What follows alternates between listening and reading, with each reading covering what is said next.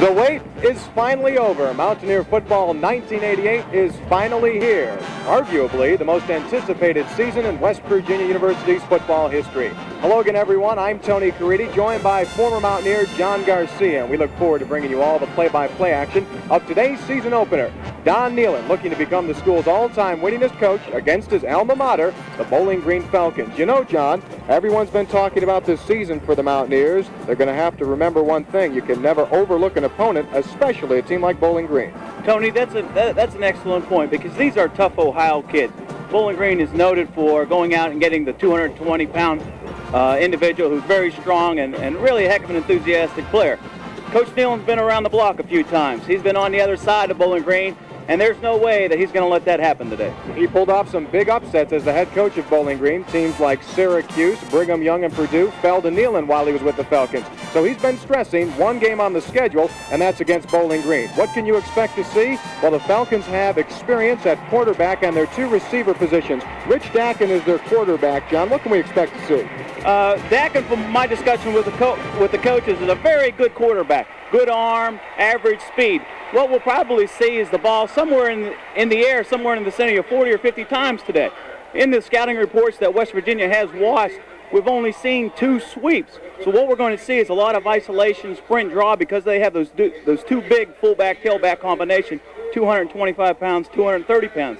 So I anticipate a lot of a lot of isolation, sprint draw, and rock'em sock'em football, Tony. The anticipation level is at an all-time high. West Virginia against Bowling Green as the 1988 season is underway at Mountaineer Field. Welcome back to Mountaineer Field in Morgantown. Over 50,000 on hand for West Virginia and Bowling Green, the season opener for 1988. The ceremonial coin toss taking place at midfield.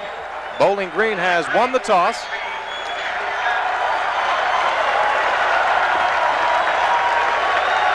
You know, John, Don Nehlen came to this program in 1980. He had a rebuilding job to do, and it seems as though the rebuilding effort has come to a, an all-time high. This year, 15 separate polls have ranked West Virginia in their top 20. One, one going as far as ranking West Virginia as the number one team in the nation. That was Newsday Magazine, and of course, Beano Cook ranked the Mountaineers number one in a nationally televised feature earlier this week. And so, as mentioned, the anticipation going into this season uh, has never been seen before.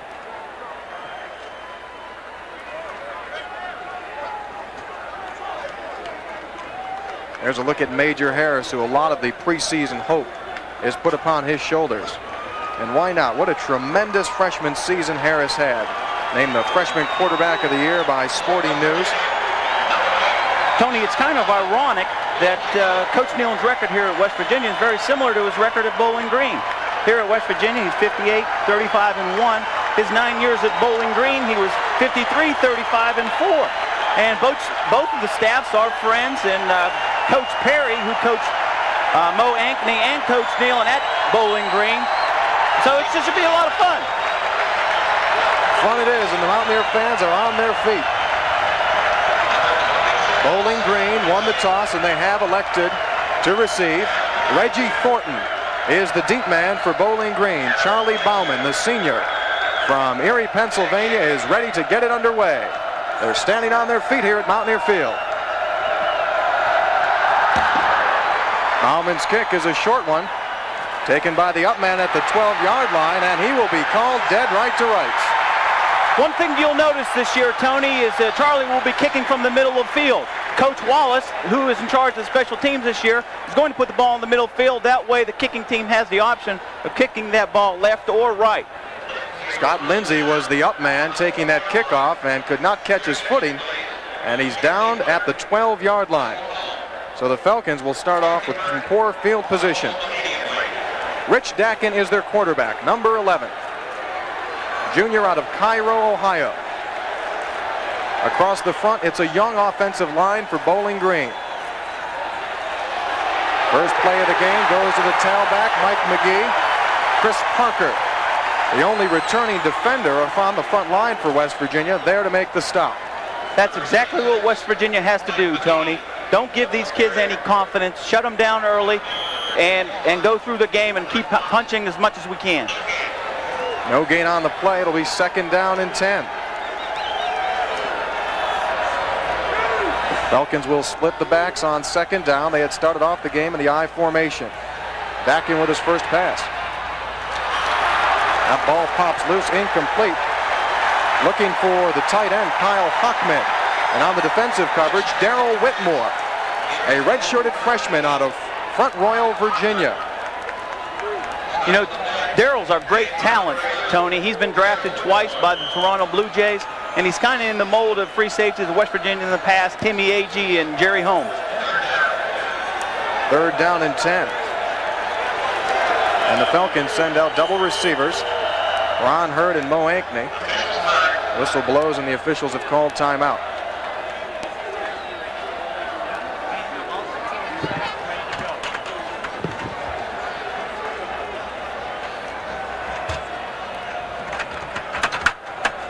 Officials comes over towards the West Virginia sideline. Talking to Don Nehlen. Apparently they've got a problem with the play clock down in the far end zone.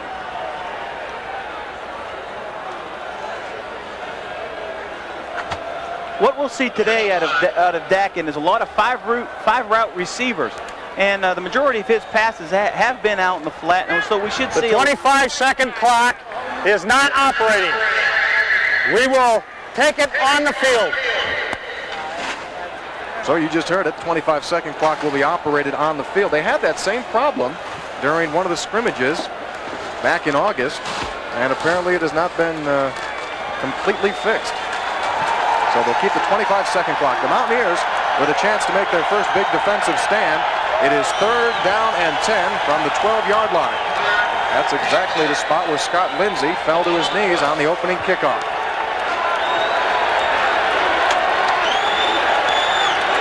Dackin with over 3,400 yards in his first two seasons at Bowling Green. Pressure is on. And Beckler dropped to the ground by Renaldo Turnbull. The outside linebacker from St. Thomas in the Virgin Islands. He's the Mountaineers' designated pass rusher, and you can see why. Six feet, five inches tall, 234 pounds, John. He's got the perfect athletic ability to pursue that quarterback, and he got all of Dackin there. That's one of, one of Coach Shaw's objectives, is go after the quarterback and don't sit back on our heels. Chris Shale, transfer out of Tennessee, bobbles that kick. The ball is loose, and a touchdown for the Mountaineers. Willie Edwards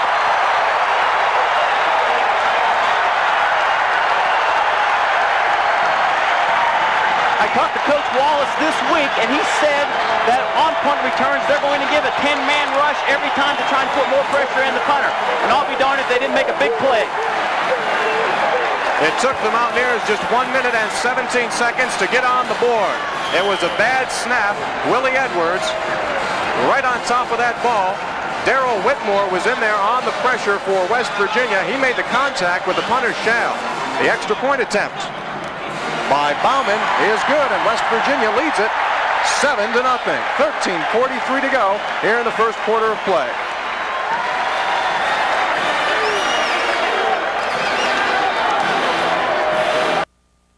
Well, the deep snap man for Bowling Green is Scott Beckley. He's been doing it now for three seasons, and on that particular snap, he just didn't get it to Shale in time, had the ball bobbled, Willie Edwards came to pounce on the football. Good pressure in from the corners. West Virginia alertly made the contact. As soon as that ball is loose, they can make the contact with the punter, and that's what they did. And Edwards jumps on it to give West Virginia the 7 0 lead. Anytime that punter stands in the end zone, he is always a little bit edgy. Uh, maybe with a 10-man rush, he did get a little nervous, and it did cause the bad snap. So the Mountaineers take the early lead, and we were talking at the onset that Bowling Green emotionally has to come into this game and has to play well just to tell themselves, yeah, we can play with these guys. That's exactly what they didn't want to happen right there. That's right, Tony. The more confidence you give these, these Ohio players, and it goes into the fourth quarter, it would be a dogfight. What we needed to what we needed to do was go in and shut them down early. Charlie Baumann ready to kick it off again. As mentioned, just one minute and 17 seconds into the game, Mountaineers on the board. Baumann's kick this time, a line drive into the end zone, and it won't be returned. That was Reggie Thornton back there. Baumann's first kick was rather short coming to the 12-yard line, but this one will be brought back out to the 20. This copyrighted broadcast is authorized under broadcasting rights granted by West Virginia University through its Mountaineer Sports Network solely for the entertainment of our viewing audience. Any publication, rebroadcast, or other use of the description and accounts of this game without the express written permission of the Mountaineer Sports Network is prohibited. The announcers on this broadcast are employed by the Mountaineer Sports Network. References to products by the announcers are paid commercial messages. So the Bowling Green Falcons will try it again. First down and 10 from the 20-yard line. They had no success, losing six yards on their first possession. Dackin. Incomplete. Looking over there for his split end. Ron Hurd, Alvoid Mays in on the coverage. Mays is one of two new starters in the West Virginia defensive backfield this season. Came in last year as a redshirted freshman from Pratt Community College and he has earned himself a starting position at the left cornerback position. The other new starter is Darrell Whitmore, who was in on that block of the punt that brought West Virginia their first touchdown. Second and 10 from the 20. And a big hit there by Chris Parker. Ball carrier was Mike McGee, and the Whitehall, Pennsylvania native. Chris Parker was right in there. Parker West Virginia in their base defense, Tony, and he's just a tough kid. He's a 400-pound bench presser, and he's a legitimate pro prospect. Parker said before the season began, I feel like the old man on defense. He's the only one of the three defensive linemen who made it back this year. Brad Hunt is gone, along with David Grant. One yard loss, third down and 11.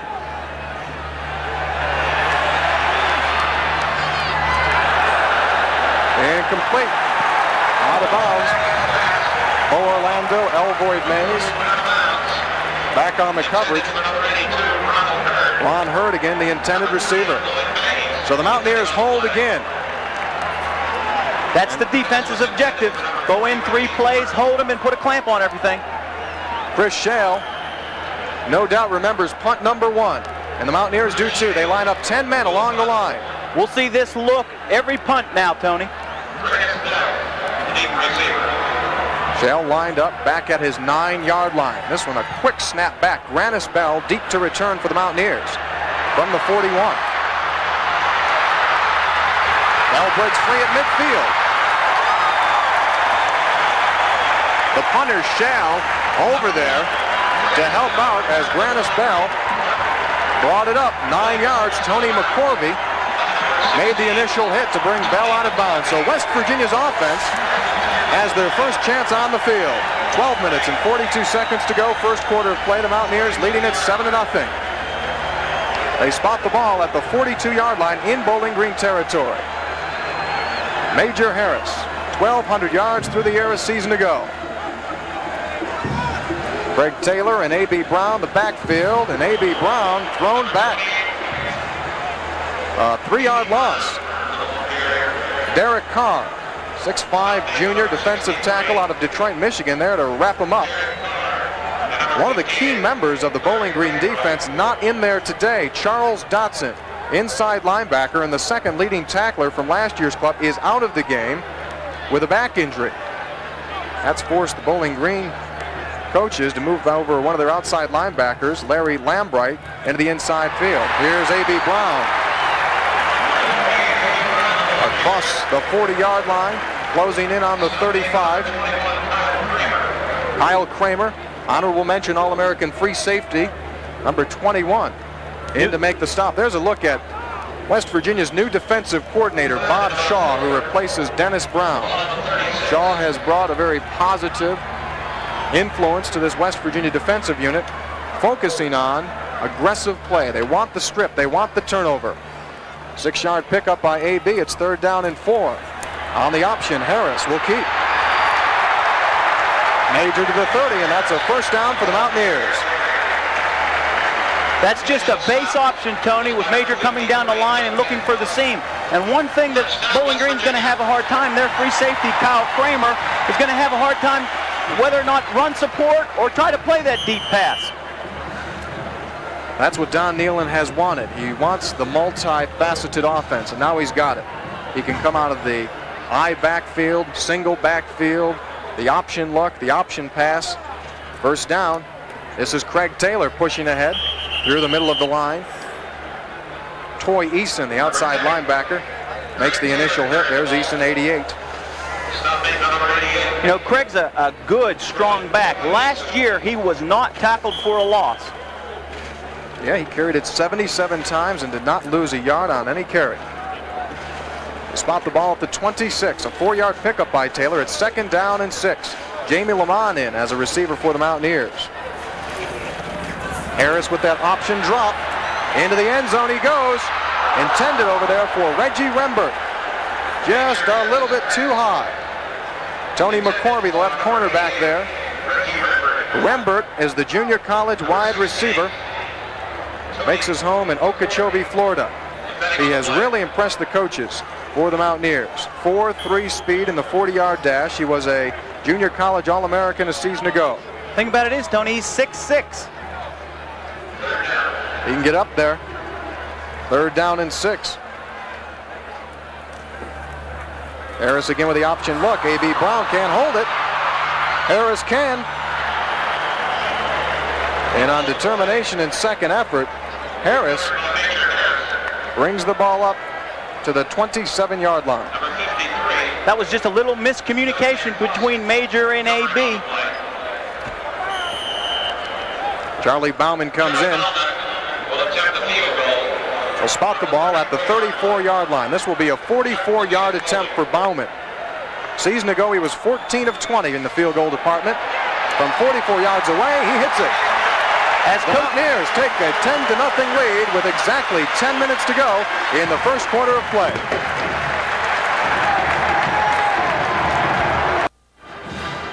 Charlie Baumann with a fist in the air as he bangs one home from 44 yards away. That ties his career long in four seasons at West Virginia. He has kicked one farther than that, a 55-yarder in the annual gold and blue scrimmage, but that's the longest in a regular season game. It ties the mark from 44 yards away. Baumann hits it, and West Virginia goes on top 10 to nothing. This is the kind of a start that Don Nehlen and his club had been hoping for. There's no question about that. And getting back to Charlie, it seems like Charlie's been in the blue and gold forever now. Four years at, four years as a starter, and he's been kicking basically from his first day on the field. Mountaineers scoring three on six plays, covering 16 yards, using two minutes and 42 seconds up, culminating with the Baumann field goal. This is Charlie's third kickoff of the game, and we've only played five minutes. Coming to the near side, Reggie Thornton again will let it take a hop, and Bowling Green will start from their 20-yard line. So Baumann had a short one on his first kick, and the next two he has put into the end zone. That's something that he's wanted to work on. He said that He's pretty happy with his field goal kicking, but he wants to improve the length of his kickoffs, and he's done that. One thing you'll notice, Tony, that the first kick was to the right, and the second kick was to the left. So it's a little easier for him to kick to the left, so you'll see that ball go a little deeper than the right-hand side. But that gives West Virginia the flexibility of going either way. Falcons have done little of nothing in their first two possessions. Dackin again we'll try to get something going here. Tailback is Mike McGee. Again, they try the inside of the West Virginia defensive front. You mentioned that they very rarely run to the outside. Why? Basically because of Dackin's uh, speed. He can't get to the perimeter, and he's more of a drop back type player. Those two big, strong fullbacks are going to hunk it up in, the, in there for you. That play, Chris Parker just made a tremendous play and just punched the heck out of that other guard. Three-yard pickup at second down and seven.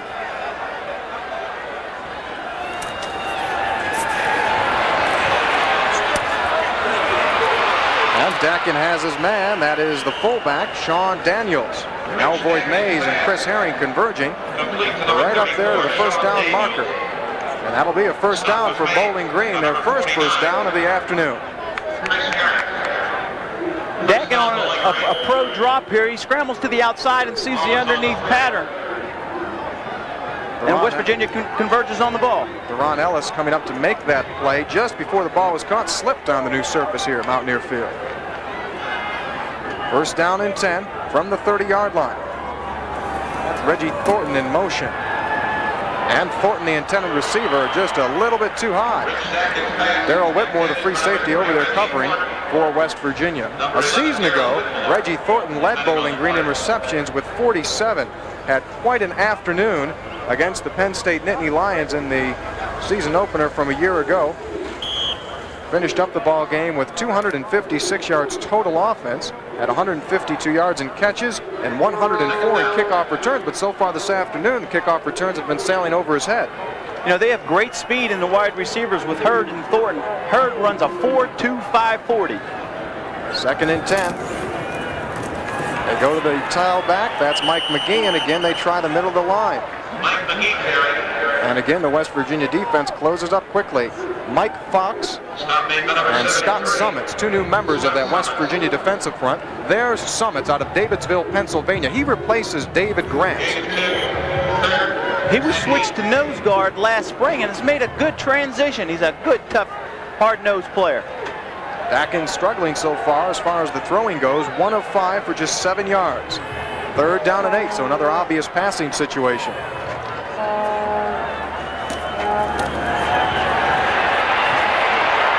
Is on. And that ball was nearly intercepted there and then recaught. Coming over was Basil Proctor. Transfer from the University of Miami. They were looking for Thornton. And Proctor made the touch on that ball, and it almost came conveniently into the arms of Thornton. Good pressure here by Robert Pickett, John. Pickett took a little dip to the inside, and we lost contain momentarily, but a great play by the linebacker on the underneath. One more yard of sideline there, and Reggie Thornton would have had himself a circus catch. Brings up fourth down and eight. Grantis Bell waiting at his 25. This is Chris Shale. Good job there by the WVU punt team. Almost came in there to make the block. Bell breaks free. Again, Grantis Bell brings the ball into Bowling Green territory. Already we have seen a big improvement in the West Virginia special teams. Number one, Grantis Bell in the same mold of great punt returners the West Virginia past, Fulton Walker and Willie Drewrey. Bell had a 28-yard return on his first punt, and he takes off here again. Grant is featured in this week's edition of Sports Illustrated's college football preview. He, along with teammate Calvin Phillips, featured as two receivers who have left the state of Florida to come play up east. Mountaineers from Bowling Green 42, A.B. Brown. Rolls over the 46-yard line. Larry Lambright, inside linebacker, along with Derek Carr, there to make the stop. A.B. Brown said last year was the most frustrating season he's ever played. He was bothered by injuries throughout and never really gained his total confidence, just the, the feeling that a running back needs. He says, this is his year. He was honorable mention all East last year, and he has a very low center of gravity, very hard to tackle. A.B. to the left. Has his hold. Brown it to the 30-yard line. That's a first down for the Mountaineers. He kind of reminds you of the little back from New Jersey with the New England Giants. I'm sorry, the New Jersey Giants. Joe Morris. Morris, right, with that low center gravity, gravity, but Brown is a little bit bigger and stronger. Craig Taylor throwing a key block there. Give Brown the room. First down and 10 for the Mountaineers from the Bowling Green 30. West Virginia leads it 10 to nothing with 7.09 and counting first quarter of play. Harris on the pitch, and here comes the reverse. It's Reggie Rembert with room at the 20, down to the 10-yard line. As mentioned, Reggie Rembert has tremendous speed, a 4.340. Just a big guy, 6'6", over 200 pounds, and we'll see a lot of Reggie this, this fall. That brings it to the 10, so a 20-yard run on the reverse for Reggie Rembert's. Quickly has moved himself in to a key position here on the West Virginia offensive unit. Calvin Phillips in motion. First down from the 10-yard line. And it's Taylor to the 5. Van Quassen, the inside linebacker, and Dwayne Crenshaw, the nose guard. there to make the stop. Taylor says he does not want to be recognized as a running fullback. He says, let the tailbacks take all the excitement and all the attention because when my turn comes, they don't expect me to be able to run it, and I can pop free. He's a Last year, he averaged over four yards per carry. He's a 110% team player. Here's the option pitch, and Brown has the room and the score. West Virginia their second touchdown of the ball game, builds up a 16 to nothing lead with six minutes and nine seconds to go here in the first quarter of play. Touchdown for A.B. Brown. They've been featuring the toss sweep here the last few plays. Major Harris comes down the line, runs the wish, runs the option, and it's just a foot race to the end zone. Free safety, Terry Wilson had Brown in front of him, but A.B. just used the field and cut it off into the corner. Well, this is everything that everyone expected from West Virginia's offense so far. The extra point by Baumann is good. The Mountaineers lead it 17 to nothing. 6.09 to go. Boy, I tell you, Bowling Green has just got to be shocked. What do they say to themselves at this point? It'll be a tough one. West Virginia on top by 17. Senior A.B. Brown from Salem, New Jersey gives West Virginia a 17 0 lead with a four-yard run. You know, this West Virginia offensive line all the way across is seniors, five-year seniors, and they're just basically pushing the Bowling Green defensive line away. Five plays, 42 yards in two minutes and three seconds. It, it, takes years to develop great offensive linemen, and all these guys are over 400-pound benches, all seniors, so we ought to see a much improved offensive line this year. There's Reggie Thornton, who's hoping that he'll get a chance to return a kickoff today. Two of Baumann's three kicks have gone over his head and into the end zone. Again, Charlie kicks it to the left side of the field, and Thornton will get a chance from the five. As a whole. And there to make the stop, Darren Fulton. Came up and under and flipped him over. The kickoffs team objective is to hold that kickoff return team inside the 25. So they didn't meet their objective that time. Dave Lockwood also in on the stop. Lockwood, a senior from Media, Pennsylvania, has seen action over the past several seasons for the Mountaineers. Comes into this game as the backup to Willie Edwards at right cornerback. receiving team on the kickoff, refused. First down, Bowling Green. You do not see that penalty often. Offsides against the return team. Penalty is declined. There's Dave McMichael, and we mentioned that senior offensive line the Mountaineers have. Coach McMichael's a Bowling Green graduate, so he's kind of got mixed emotions today. I asked him that, and he said, "Hey, when the gun goes off, I'll be I'll bleed blue and gold." He knows who signs the paycheck. This is Mike McGee, the tailback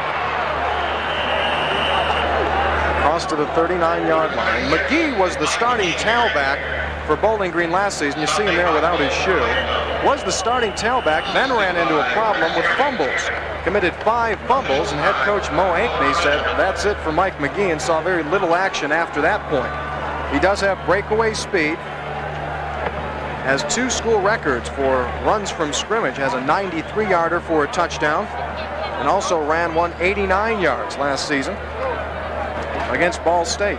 Bowling Green's running running game has suffered a little bit in the last year because they are so limited with the with the with their people's ability.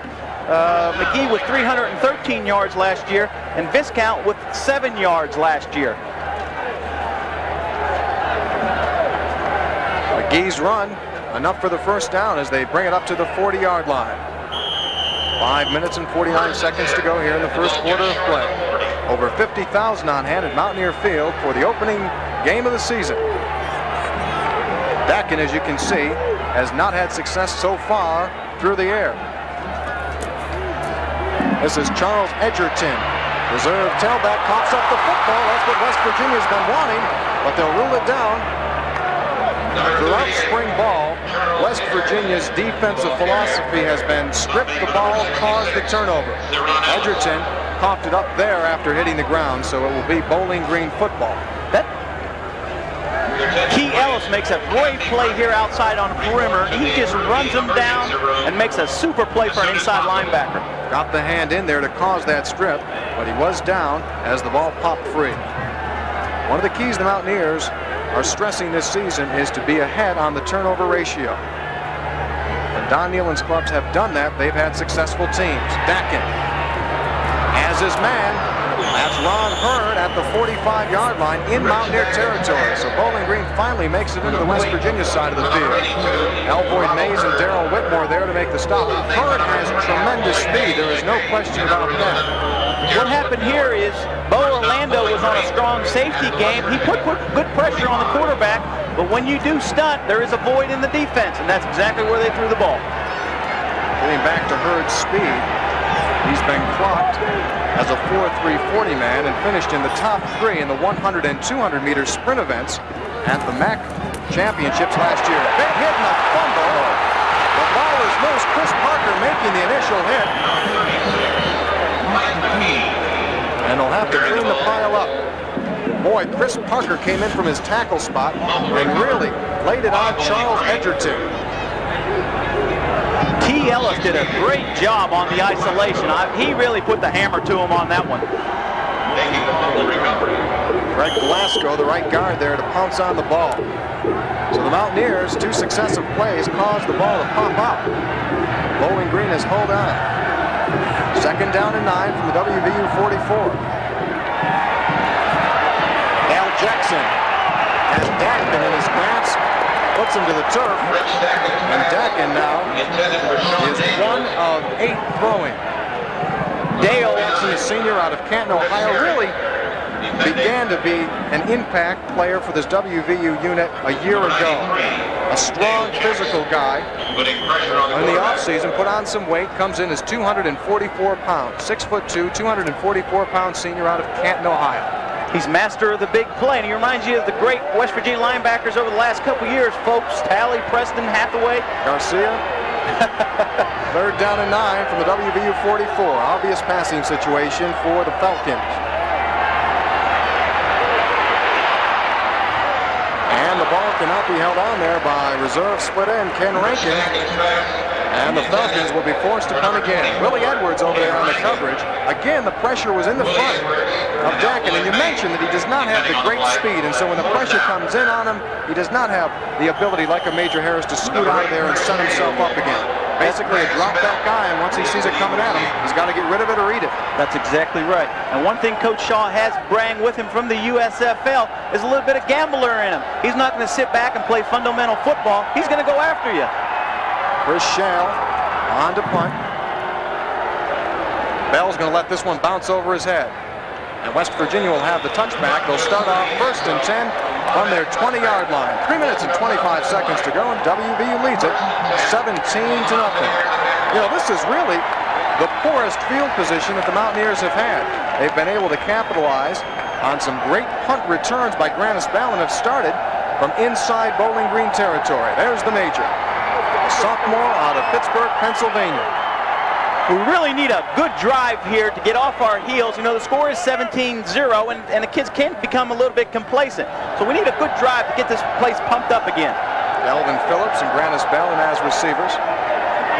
A.B. Brown stays in at the tailback position. This is Brown.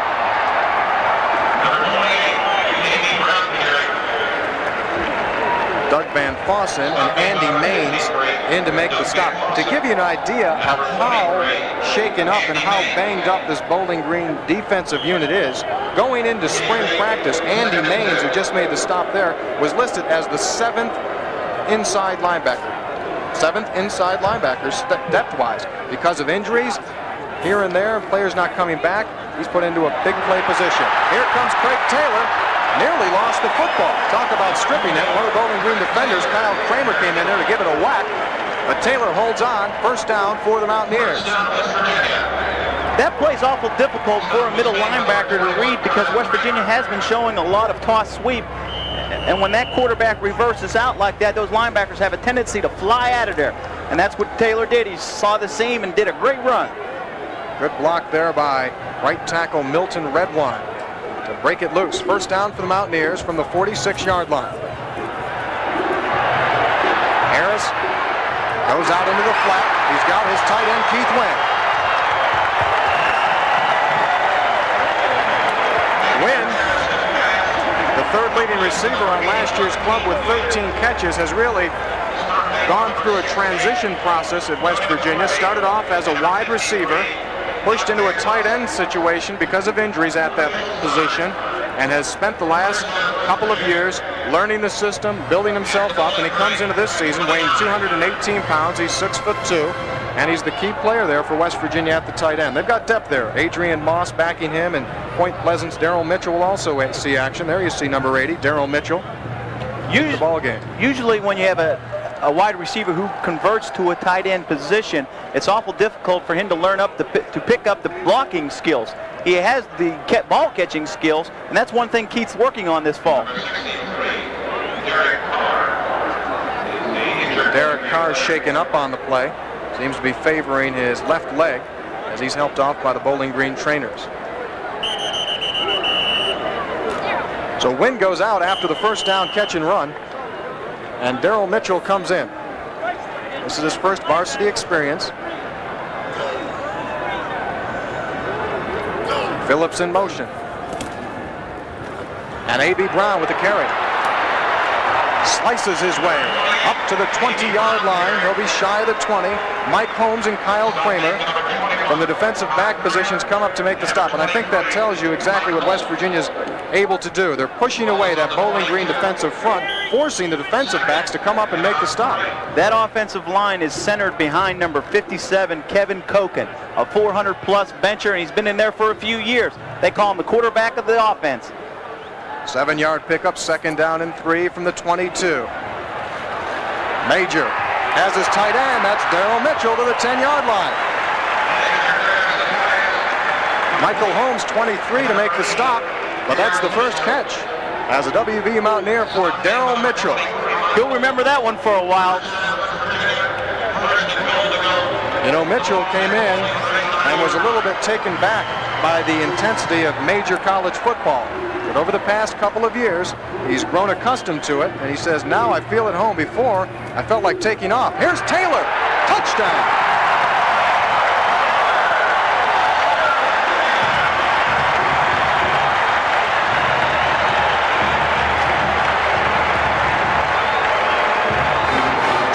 Blocking, John, by the WVU offensive line. There was a hole there left open by Kovac, Koken, and Stroya right up the middle from nine yards away. Taylor gives West Virginia a 23-0 lead with 132 to go here in the first quarter.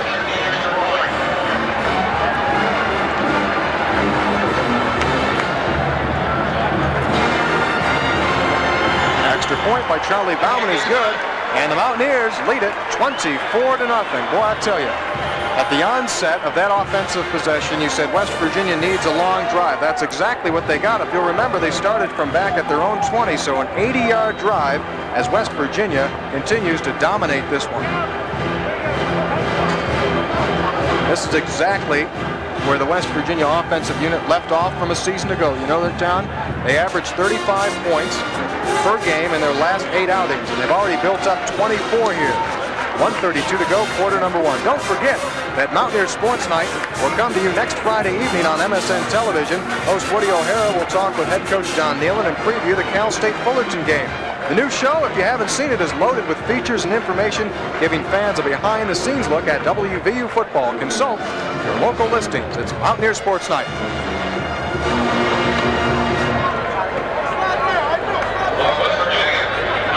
Charlie Baumann's not having himself a bad scoring afternoon.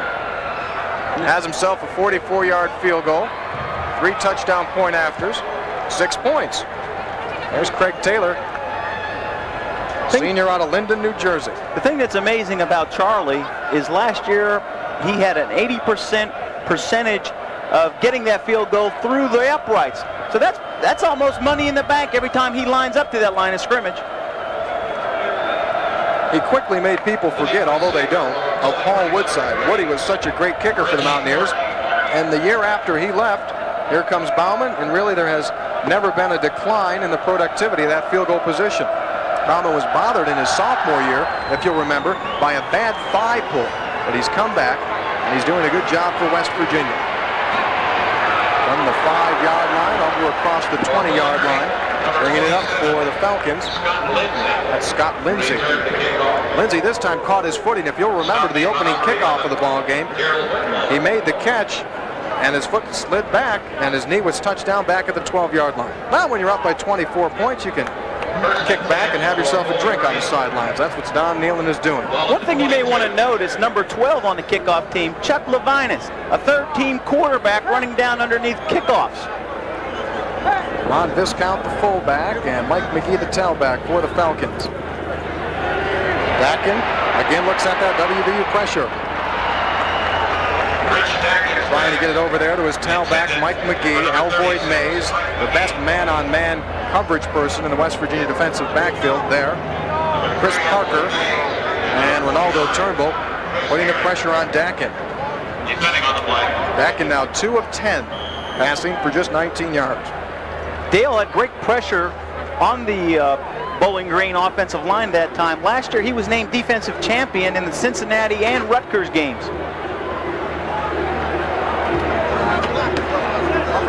Second and 10 from the 22. This is the fullback, Viscount.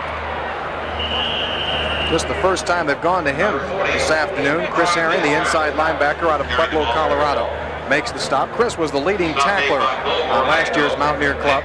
Spent the offseason back home in Colorado. But says he loves it in Morgantown. He's a golfer and a swimmer.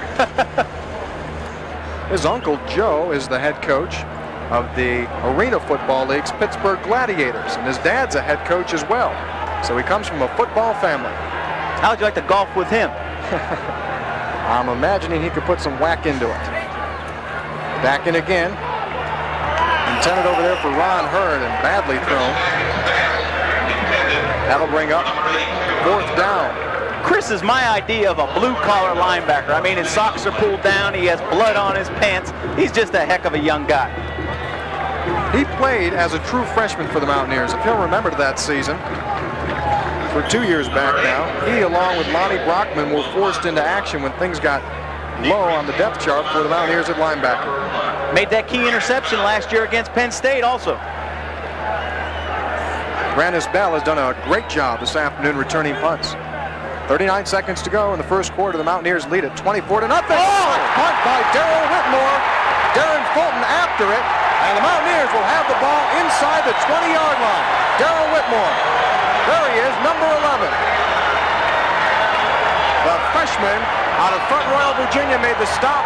And 23, Darren Fulton, back this season after being academically ineligible last year, pounced on the football. The Mountaineers will have it at the 18-yard line. Just a great individual effort by Darrell. And as Coach Nehlen said, there'll be more emphasis on the special teams this year. And so far, they've been paying big dividends. That's the second time they botched up the Bowling Green punt. He may have to give Coach Wallace a raise after today. From the 18, ahead to the 15-yard line. That's Undra Johnson in for his first carry this afternoon, the senior out of Fort Lauderdale, Florida. Undra really finished off the last game of the regular season a year ago with a bang in a reserve role. Over 100 yards in the second half against Syracuse. Just a fine young man, extremely talented and very quick. Gain three on the play, second and seven. Whistles blow as the quarter comes to an end. West Virginia leads at 24 to nothing. Was the first quarter that West Virginia could have only wished for, and they got it. 24 to nothing as the Mountaineers start off this 1988 season as if they never missed a hitch. Take a look at the first quarter numbers, totally dominated by the Mountaineers. 105 yards on the ground, 37 on the pass as Harris was two for three throwing. A.B. Brown, the leading rusher for West Virginia, with 37 yards on seven carries. So Brown continues to hold consistency as far as his average gain per carry. Comes into this season averaging five yards a tote. West Virginia knocking on the door once again from their 15-yard line of Bowling Green territory. Second down and seven. Undra Johnson pushing himself over the 10-yard line. Nose guard Dwayne Crenshaw, number 50, makes the hit along with right cornerback Mike Holmes. Bob Kolvac pulling around there for him. Bob is a 500-pound bench presser out of Newcastle, Pennsylvania. Played for one of the most winningest high school coaches in Pennsylvania history, Lindy Lauro. Back that entire West Virginia offensive line bench presses over 400 pounds apiece. First and goal from the seven, and Johnson slips down at the five. Tony, that's amazing. Alan Johnson has done a great job with his strength program. The first winter that Coach Nehlen came here, I was a West Virginia player, and we had two people bench press over 400 pounds. Al told me just last week he has 34 individuals bench press 400 pounds. So that tells you how far this program has come in the last eight years. Had a couple of guys, in fact, they because of some nagging injuries, they didn't let them go ahead and max out in their bench press. He thinks he could even have a few more. Johnson again, looking to the outside. And a good hit there. Terry Wilson coming up from his strong safety position. Lose a yard on that play. Undra Johnson. Take a look at that. Very impressive predominantly as a reserve player West Virginia.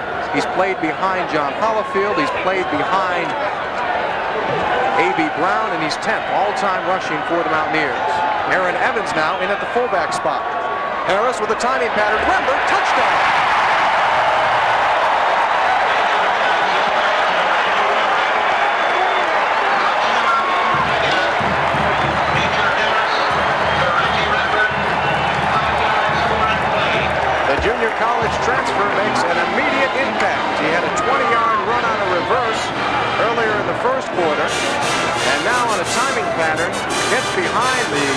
Left cornerback, Tony McCorvey, and as you mentioned earlier, at 6 feet 6 inches tall, you can do a whole lot.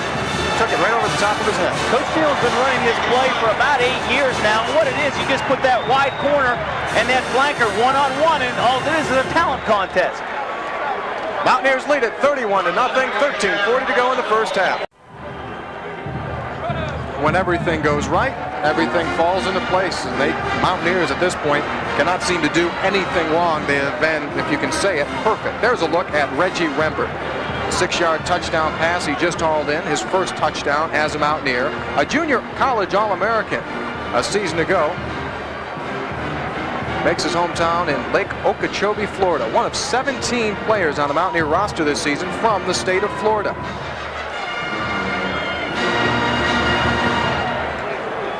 Boy, John, what do you do if you're bowling green at this point? That, that high emotional level that you had coming in thinking upset, I'm sure has dissipated to an all-time low. What are you thinking at this point? Play. That's about it, Tony. I mean, the score is 31 nothing in the second quarter. It's awful difficult. They'll have to go back in at, at halftime and regroup and play, get back to fundamental football. Mountaineers use up five plays on the last scoring drive. If you'll remember, it was set up by the blocked punt of Darrell Whitmore. So the special teams put the West Virginia offense in good position, and Major Harrison crew converted. 31 to nothing WVU. Baumann goes to the far side, and this is Reggie Thornton from the five. Up across the 25-yard line. That's just about his average return. A season ago, he averaged 20 yards a return. And yes, it's hot out there for WVU senior co-captain Kevin Koken, he'll go to the double ice treatment. Is that called on the rocks?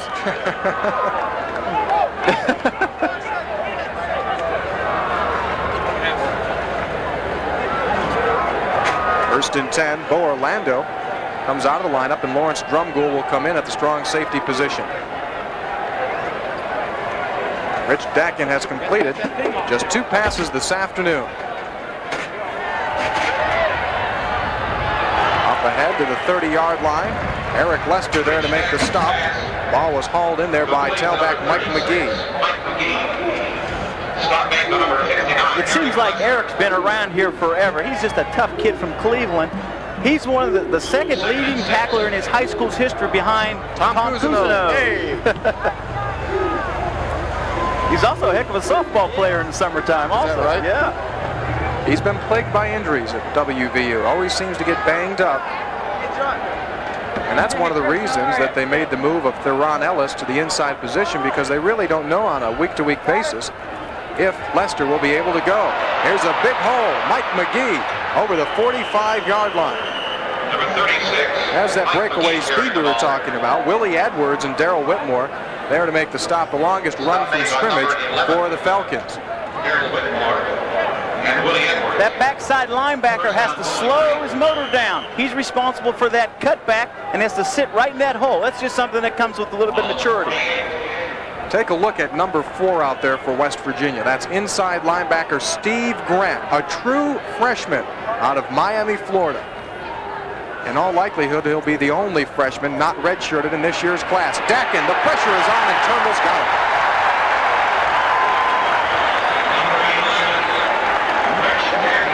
Turnbull's been there all afternoon with the tremendous pressure from the outside. As mentioned, physically, just a tough character to handle. Six feet five inches tall, 234 pounds, long legs, long arms, great vertical leap. Like a snake, he wrapped up Dackin and pushed him back. That's an eight-yard loss. Second down. Second down and 18 from the Falcon 40. Coach Kirelawich says he has the potential to be one of the best outside linebackers in West Virginia history. They'll show the shotgun on second down and long. And the inside handoff goes to McGee. Tripped up there. Mike McGee, the ball. Jim Gray in at nose guard for WVU. Jim's another player that the WVU coaching staff is very high on. You mentioned Turnbull. Gray is a red-shirted freshman out of New Jersey. And they expect big things from him. I was at practice last week, and Steve Grant made a tackle on the kickoff. It made me crunch, Tony. Get back five yards on the play. Third down and 13.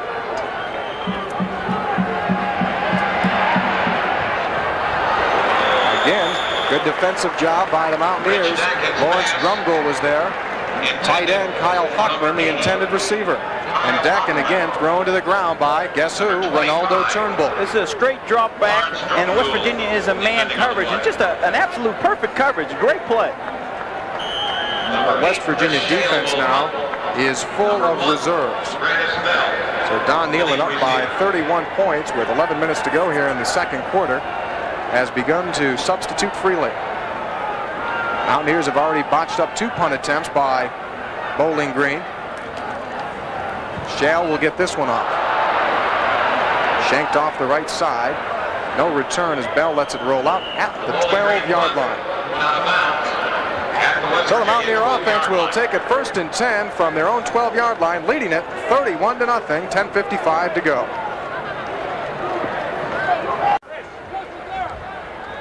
Major Harris has built up a 31 to nothing lead for this WVU team from the Mountaineer 12-yard line. Dave Kinsey coming over, defensive tackle. A.B. Brown back into the game for West Virginia. A.B. was spelled in the last series by Undra Johnson. We have yet to see Eugene Napoleon, but I'm sure by game's end we will see Eugene Napoleon, the junior out of Jersey City, New Jersey. Milton Redwine in the game, one of the smaller players on West Virginia defense, offensive line, 300 pounds. he's another guy that seems as though he's been around for years. How would you like to feed him? No thanks. One yard loss at second and 11. Daryl Mitchell. Second grab of the afternoon brings it up to the 20 yard line. That'll bring up a third down and two. Doug Van Fossen, outside linebacker, and Andy Maines, the inside linebacker, coming over to make the stop. Daryl Mitchell, one of three WVU players who was married in the offseason. That brings the total number of married players up to four. Rick Phillips has been married for a couple of years, WVU's left tackle. Bo Orlando, his lovely wife Mary. That's right. Dale Wolfley also married. Here's the major. First down, West Virginia, as Harris makes a broken play. Look good. Andy Maines over there again to make the stop. Major's the kind of quarterback that gives defensive coordinators nightmares. I mean, you only have two days to practice and get ready for this guy. You have to put in the wishbone, the option, the drop back pass. There's so many different facets that he can do, it's awful difficult to prepare for. Is there any way to prepare for a quarterback like Harris who seems as though he is so, you know, uh, such a great athlete when it comes to the run. I mean, how do you prepare for something like that? I don't think Harris knows what he's going to do, let alone how do you prepare for it. I remember when we went out to uh, Oklahoma, the week of preparation, it's awful difficult to simulate that look and that speed, and that's one thing that defensive have, have problems with. Ball starts, offense, repeat, first down. Left side of that right WVU offensive line, left early. That'll bring the Mountaineers back five yards, first down and 15 from the 18-yard line. Major Harris, four of five passing for 52 yards. The option. Harris has the first down knocked out of bounds at the 35-yard line. He needed the 34 for the first down, so the penalty quickly made up. Tony McCorvey, left cornerback over there to make the stop. Major coming down the line on the option, sees the seam, and just uses his athletic ability. Just a great athlete, and he'll be an impact player. I think you'd probably say he is the impact No player. question about that. Mountaineers with the first down. Line up two receivers to the right side. Harris four of five so far this afternoon. Make it five of six. Whip. They're going to say incomplete. Grantis Bell doesn't like the call. Ball came in there low, so they're calling it as a trap. Doug Van Fossen, the inside linebacker, was guarding Bell and curled it at the 45-yard line. Two, two.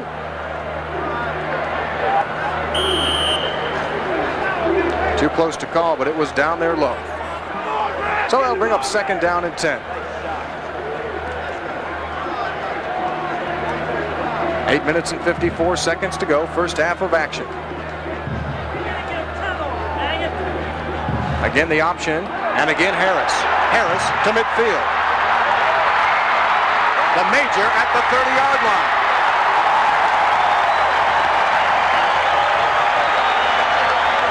Mike Holmes, the right cornerback, finally got a hold of Harris. But not before. Major danced it down inside Bowling Green territory. They'll spot it at the 28-yard line. The whirly bird option. Major spins out, and what that does, is it holds those linebackers and freezes them so they can't get to the perimeter. Then it's just a foot race and great athletic ability by Major. Terry Wilson, the last line of defense at free safety to make the stop. Here's the fullback. WVU's Craig Taylor, who's already has one touchdown, already has one touchdown today, pushed out of bounds there by Kyle Kramer, but that's another first down for the Mountaineers. It's almost like a scrimmage. Not only Major being an impact player, but number 57, Kevin Koken, whether the person that offensive line is centered around, is one of the great offensive centers that West Virginia's had. Aaron Evans inside the five-yard line. Sophomore out of Richmond, Virginia. He'll share playing time as the number two fullback this season with Rico Tyler. And again, John, you mentioned it. What West Virginia is having success doing is showing them that option, running to the outside, running to the outside, and then boom, they'll put it right down into the middle. Tough for a defense to know what's ahead. That's right. Whistles blow, timeout is called. It will be charged to Bowling Green. Eight minutes and nine seconds remain here in the second quarter of play with West Virginia leading it 31 to nothing. If you look back in the history books a little bit, every bowl team that West Virginia's had has been centered around a great center. You had Bill Legg over the last few bowls, Al Husky in the Peach Bowl, and now Kevin Koken. And the same can be said when West Virginia has had a strong quarterback. West Virginia has had successful teams. Oliver Luck, Jeff Hostetler, and then the 84 season, Kevin White, who was underestimated for ability, came up and did a great job. It was White that engineered the victories over Penn State, Boston College, and then the Bluebonnet Bowl victory over Texas Christian. Speaking of Ollie Luck, I'm sure our listeners would like to know what Ollie is up to. He'll be getting married here this month. Yeah, Oliver's coming in in October. He's over in Germany right now. He was on an internship with six months in a college out there studying international law and six months working in a, in a firm. He'll be coming over in October 22nd, I think he is, to get married. And my wife and I are going to go down and visit him. And he'll be living down in Houston, is that right? Uh, I've heard some rumors that he may be looking in a, a political future in West Virginia. What about that? Definitely the season for politics with the general election coming up in November.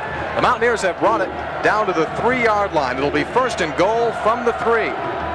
Rico Tyler in motion. A.B. Brown will lose on the play.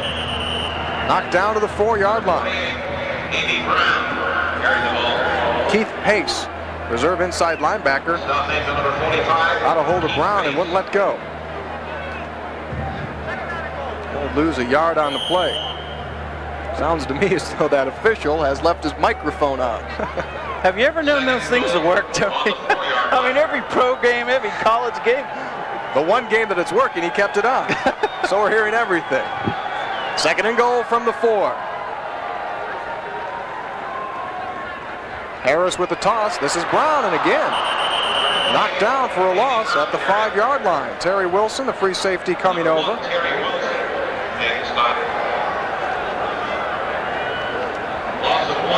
They feel their free safety, number 21, Kyle Kramer, will be a pro, spot, pro prospect. A 4-5 speed, excellent feel for the ball. Another yard loss, so it's third down and goal. And so what looked to be another West Virginia touchdown may have to be settled for a field goal. Eugene Napoleon in.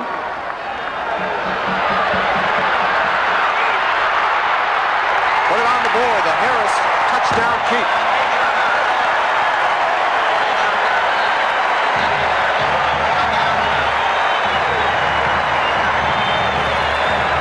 He makes it look so simple, like a surgeon preparing to make an incision. Where should I go in? Play action pass, and it's awful difficult for those inside linebackers to fly out of there before they can make their read. It's a foot race to the end zone, and it's all over but the shout.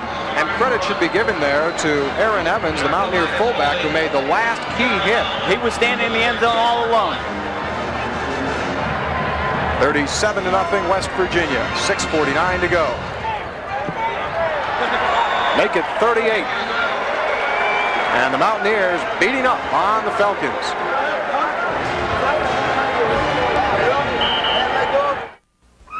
Major Harris has racked up 69 yards rushing. He scored the touchdown to give the Mountaineers a 38 to nothing lead. The long gainer in that series for the Mountaineers was a 37-yard run by Harris, and he brought it in from five yards away for the score.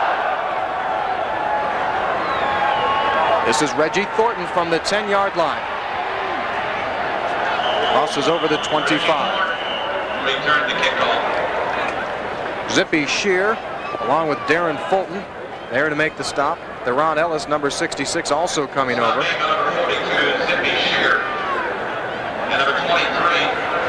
Bowling Green has been into West Virginia territory just once this afternoon. A look at the numbers eight yards per play, using up about four minutes of clock time. Dackin, whose strength is passing, is struggling through the air this afternoon. The tailback is McGee. Lonnie Brockman, Scott Summits there to make the hit. A great job filling in on a play by the young freshman, Steve Grant, number four. Kind of a strange number for a linebacker, isn't it? It is. I was wondering the same thing. I guess that's the number that he wore in high school, and it was available. So they said, fine, you can have it if you want it. Coach Nehlen says he's going to be a great one. Doesn't know where he's going yet, just hits you when he gets there. So far, that's working. Steve Grant and Eric Lester at the inside linebacker positions. One yard pickup, second down and nine. Back into the far side, and he's got Reggie Thornton. First down for the Falcons. Darrell Whitmore, free safety over there to knock him out of bounds.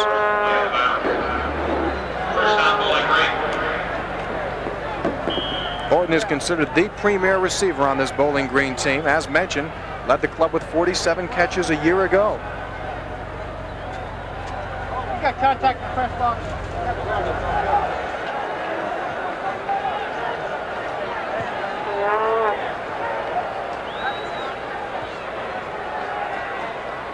And again, Dackin will throw. Going deep. He's got Ron Hurd. A flag comes down. Darren Fulton was in on the coverage. And it'll be an interference call. Hurd, with the great speed we were talking about, got by Darren Fulton. Ball came in. Fulton got the hand in, but apparently too early. I mean, this guy runs a 4.2540. Just flat out speed. Darrell was beaten a little bit, made a good adjustment to the ball. Looked like a good strip from up here. Pass interference against the defense. Automatic first down. So the Falcons will come into West Virginia territory thanks to the penalty. They'll bring it to the 39-yard line. 5.55 to go, second quarter of play. Mark Bongers, reserve flanker, into the Falcon lineup for the first time this afternoon.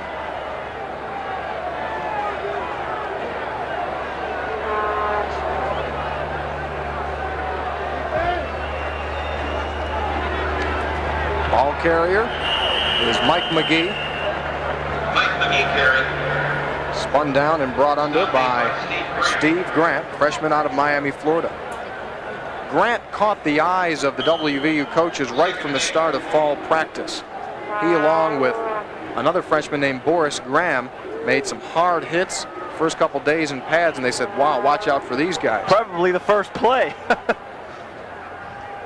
one of the big scrimmages that brought an end to two-a-day practices, Grant intercepted a pass, ran it back for 20 yards. Couple yard pickup, second down and eight, pressure on Dackin. And he scoots one on the ground, intended over there.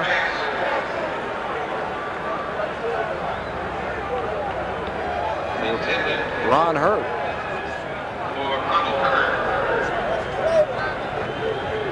That'll bring up third down and eight. It's awful difficult for a quarterback to keep his poise when you're down 38 nothing and within the first half, and it's going to be a long day for Dackin. You can see four of 15. He came into the ball game with a 57% completion ratio, but not today. This time he hits Ron Hurd at the 30-yard line. That's very close to the first down. And now a flag goes down. Back over where Dackin was, it'll be a personal foul roughing the passer. So a big completion plus the penalty will really help Bowling Green out here. Against the defense, 15 yards from the end of the completion. First down. So they had the first down on the throw to Hurd, and now they'll tack 15 more yards on, and that'll bring it all the way down to the WVU 15-yard line.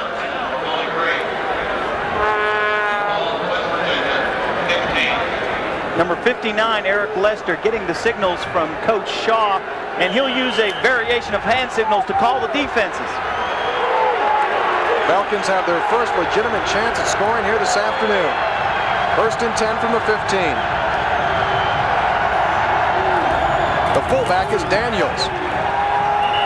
And he's wrapped up by nose guard Scott Summits and inside linebacker Steve Grant again around the football. Boy, I'm telling you, watch number four for the Mountaineers. He's been all over the field this afternoon. His first game as a Mountaineer. Last time this year he was playing as a senior in high school. And now he's got over 50,000 watching him here at Mountaineer Field. Two-yard pickup by the fullback Daniels.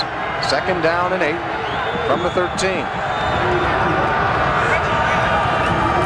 Here's the pressure, timing pattern. Batted away by Fulton. Again, it was that matchup between Ron Hurd and Darren Fulton. The last time they went head-to-head, -head, it resulted in an interference penalty, but this time Fulton backpedaling to slap the ball out. Looks like a Bowling Green still running Coach Nehlen's play as a number of years ago. A great job by Darrell. Well thrown ball, but Fulton got his hand in on it. That's the exact play that West Virginia scored on. The six-yard toss to Reggie Rembert down the other side of the field.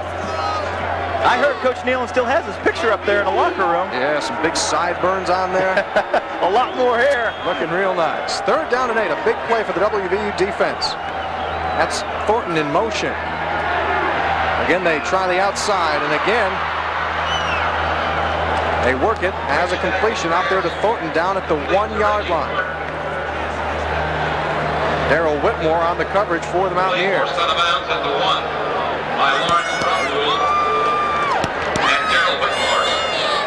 Virginia knew all about Reggie Thornton coming into this one. They were worried about Thornton. They were worried about Ron Hurd. First down and goal from the one-yard line. Mountaineers lead at 38 zip. On the wishbone.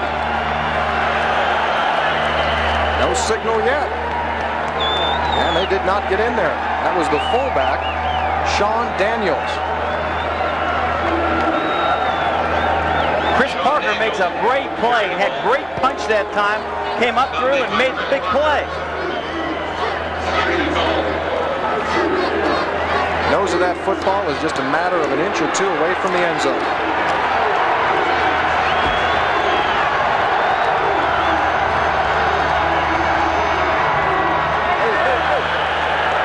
And again, they do not get in. That'll bring up third down and goal. And again, they went to the fullback, Daniels. Great surge by that West Virginia defensive front.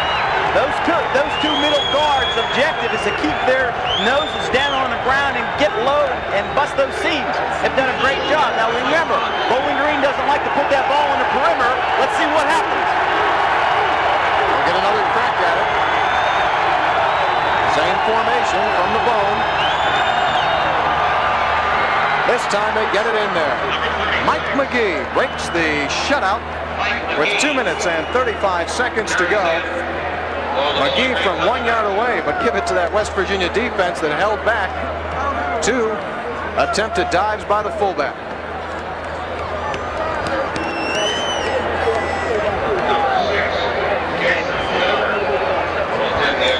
So a big completion to Ron Hurd, aided by a 15-yard roughing the passer penalty, puts Bowling Green in great position and they convert.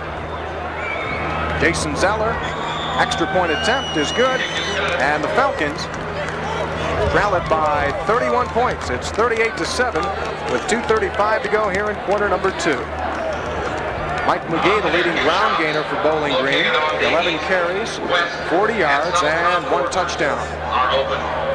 Are open. By for your favorite WVU souvenirs. All proceeds provide support for scholarships of WVU student athletes. Reggie Rembert puts the helmet on, and he'll go back as a kick return man for the Mountaineers. How would you like to be about a 5'10 free safety, Tony? And this big guy, 6'6", comes flying by you on a post pattern. You know, not only the height, it's the speed that they say is so scary, and the way he runs. Talking to Bo Orlando, he said he was amazed the first couple of times he covered Reggie Rembert in practice, the fact that he's running at you and it looks like he's going in slow motion because he takes these long, graceful steps, and before you know it, you're looking behind you and there he goes. If it were me, it would be chasing, not racing. Take a look at the Bowling Green scoring drive. 12 plays and 72 yards, 4 minutes and 14 seconds, aided by that 15-yard roughing the passer penalty. Number six, Jason Zeller. Reggie Rembert is the deep man for the Mountaineers. The deep receiver for the Mountaineers. Coach Wallace says the kickoff returns objective is to get the ball out to the 35. So let's see what happens. The up men are Undra Johnson and Eugene Napoleon. That's Jason Zeller, Undra Johnson. Nicknamed Fuzzy Zeller, after the successful golfer on the Pro Tour.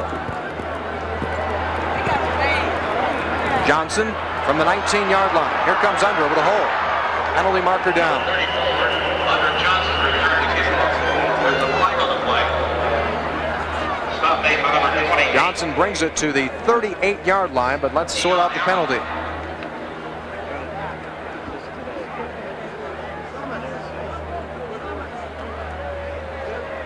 It will go against West Virginia. So they'll mark it off from the 38. Holding against the receiving team during the run back. 10-yard penalty. First down. So they'll bring it back to the 28-yard line. That's where West Virginia's offense will start from. First and 10 from the 28. Make it the 25. So Johnson's run back went to the 35-yard line, and they bring it back 10 yards.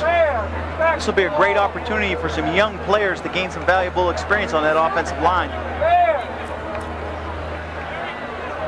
Harris to Rembert. And he's out just shy of the 30-yard line. Tony McCorby, the left cornerback there. Number 64, Dale Wolfley. His brother, Ronnie, uh, playing NFL right now. I heard he called uh, West Virginia this week to talk about special teams. Yep, they put him over the speakerphone and he gave an inspirational speech on just how important special teams are. And the Mountaineers apparently took it to heart because they have been involved in two blocked punts this afternoon. Harris up to the 35-yard line. Dale Wolfley's out there on the Mountaineer offensive line along with Milton Redwine, Jeff Price, John Stroya. So several of the regulars are not in there. Dale's mother, es Esther, a big Mountaineer fan. Makes the trips up from Orchard Park, New York. She makes a weekend out of it, provided that the Pittsburgh Steelers are home. You can watch the Mountaineer game on Saturday and then drive to Pittsburgh to watch son Craig play on Sundays. Keeps her busy.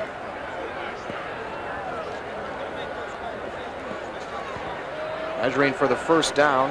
Got that chain out there pulled taut. How would you like that Thanksgiving dinner? Craig Wolfley, Ron Wolfley, and Dale Wolfley. You'd have to eat quick. Touchdown, West Virginia. The question is not how many pounds the turkey would be, how many turkeys. Just shy of that first down, the nose of that football to the 35-yard line. As one of the Mountaineer twirlers prepares for the halftime festivities. Two minutes and nine seconds to go here in the first half.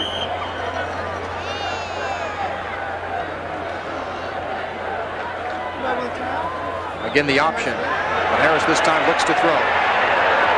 Rembert has it.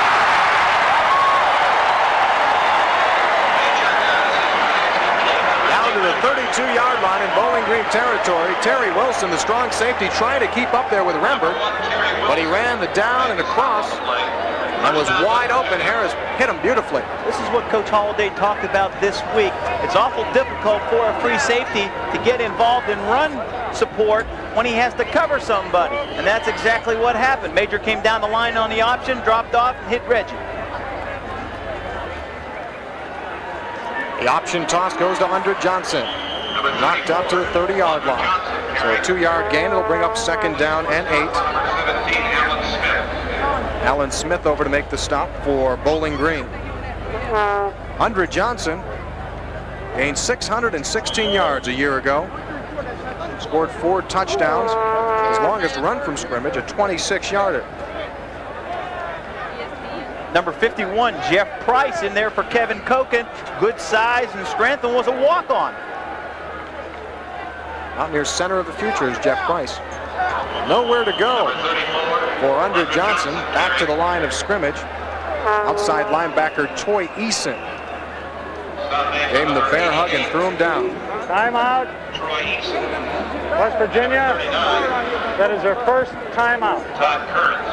So the Mountaineers will stop the clock with 1 minute and 38 seconds to go here in the second quarter of play. WVU leads it 38 to 7.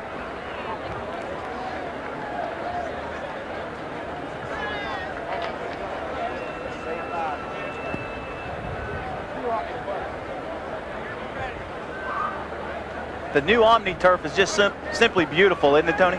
It really is. It's a darker shade of green than the old AstroTurf surface. And besides aesthetics, it is said to be much better to play on.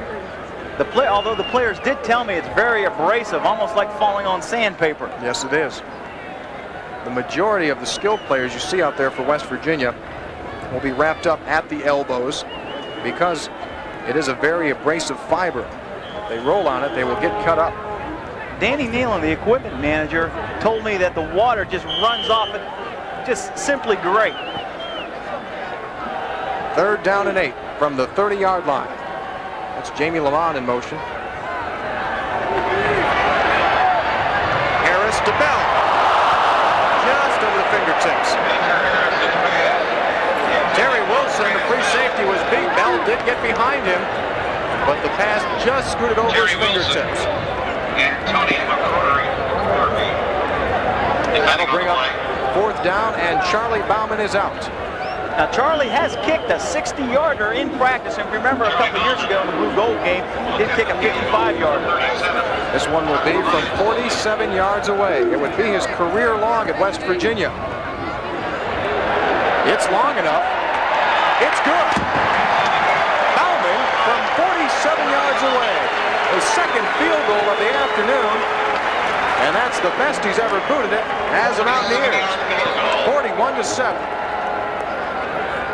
West Virginia has been on top from the outset.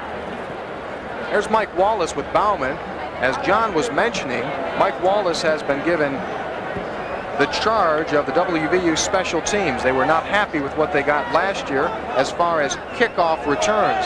Some key kickoff returns went by the wayside. If you'll remember the Penn State game, after West Virginia had taken the lead in the fourth quarter, Penn State brought a kickoff return up to the 40-yard line.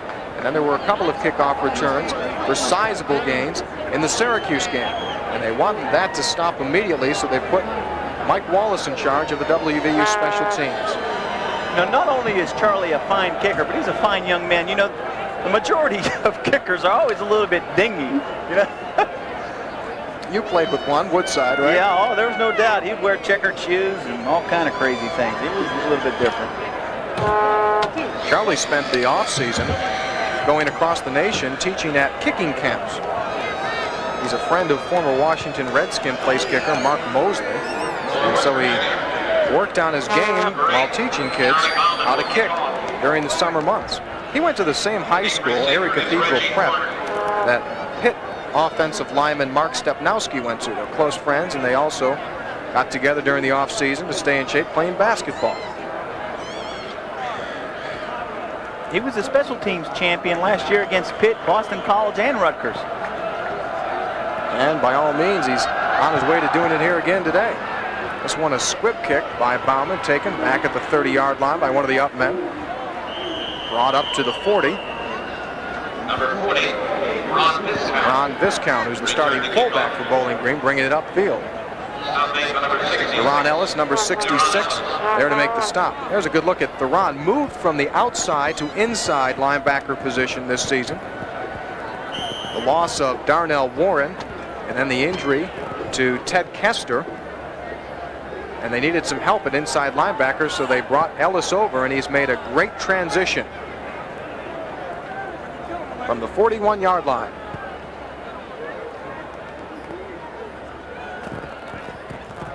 Looks as though Dackin is checking off at the line. Badly thrown ball intended over there for Ken Rankin. David Lockwood, senior out of Media, Pennsylvania for the Mountaineers on the coverage. Rankin, intended receiver on that play, sat out all of last season because of a knee injury. Came back in spring ball, still was not ready to go through contact, but went through the running portion of spring practice, and they feel he's back. He's another great athlete on this Bowling Green team, a two-sport performer. In fact, he holds the school's long jump record with a leap of 25 feet 7 inches. Second down and 10. Intended receiver over there, Charles Edgerton and Theron Ellis back on the play. Once again, he was open there. Was- The ball was just uh, poorly thrown. Just great pressure by the West Virginia defense. And, and Coach Kirelawich told me that Renaldo, Renaldo Turnbull has the greatest first step he's ever seen. Now, whatever that means, I don't know. But he said he has the be- best first step he's ever seen. And Renaldo is out there once again, playing on the right side of the Mountaineer defensive line. It's third down and 10.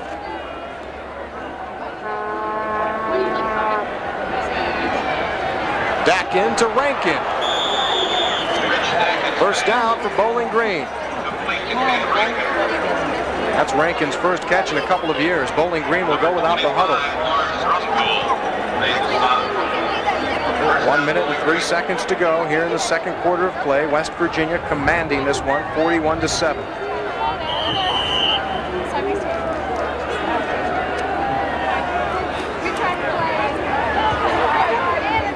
And Intended over there for Edgerton, and again, Theron Ellis making the stop. West Virginia in a man coverage this, that time, and T. Ellis made a great play. It's awful difficult for a middle linebacker to cover a back, and he did a great job. Under a minute to go here in what has been a all West Virginia first half.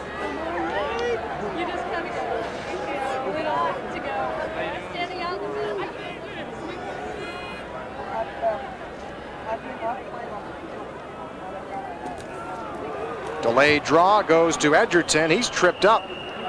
Skip Fuller, the nose guard for the Mountaineers, able to knock Edgerton off balance, and Theron Ellis there to finish him off. Coach Shaw has said that when you move an outside linebacker to inside linebacker, in his experience, it hasn't been very successful. T moving this fall because of some position changes has done a great job. Dackin completes over the middle. That's his tight end, Kyle Hockman. That'll be another first down as the Falcons working on the clock. 27 seconds remain here in the second quarter. Clock stops on the completion for the first down. So Bowling Green knocking on the door again.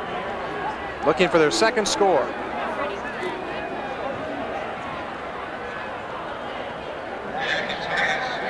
Looking over there for Reggie Thornton. And apparently some miscommunication as to what the route was as Dackin threw the boundary and Thornton had not made a break over there. David Lockwood over on the coverage. Number 80, Kyle Hockman, is a very good player. Kind of reminds you of the Mark Rao type guy, 6'3", 225 pounds, was a transfer from NC State. He has real good hands. Last year in a Penn State game had seven or eight interceptions. Receptions, I might say. Yeah. seven or eight interceptions. He yes. should have been on the other side of the ball. Timeout. You know, speaking of West Hockman, Virginia. as the Mountaineers call a timeout. Second timeout. Hockman was a tremendous high school player in the state of Ohio. He played for his dad, and he, that's, a great player. Well, I tell you what, he's, without his dad's help or not, Hockman set an all-time Ohio high school record with 156 receptions. No other high school player in Ohio has ever caught that many high school or passes in a high school uh, career. Kyle Hockman has his name in the Ohio record book. With 20 seconds to go here in the first half of play, Don Nehlen has taken the headsets off. And I'm sure, headsets or not, he wants to see his defensive unit hold here and not allow a late touchdown. It would really be a shame, Tony, if we let him slide in here. Timeout was taken there by the Falcons as head coach Mo Ankney in his third season with the club goes over some details with quarterback Rich Dackin. You can see that Bowling Green is a predominantly pass-oriented team. At this point, they really don't have much choice. Down 41 to 7. Uh, like we said in the introduction, we would see the ball 40 or 50 times a day. We're going to see it 60, 65 times a day. And the main reason being that they've got behind so far so early. Second down and 10 from the West Virginia 17-yard line.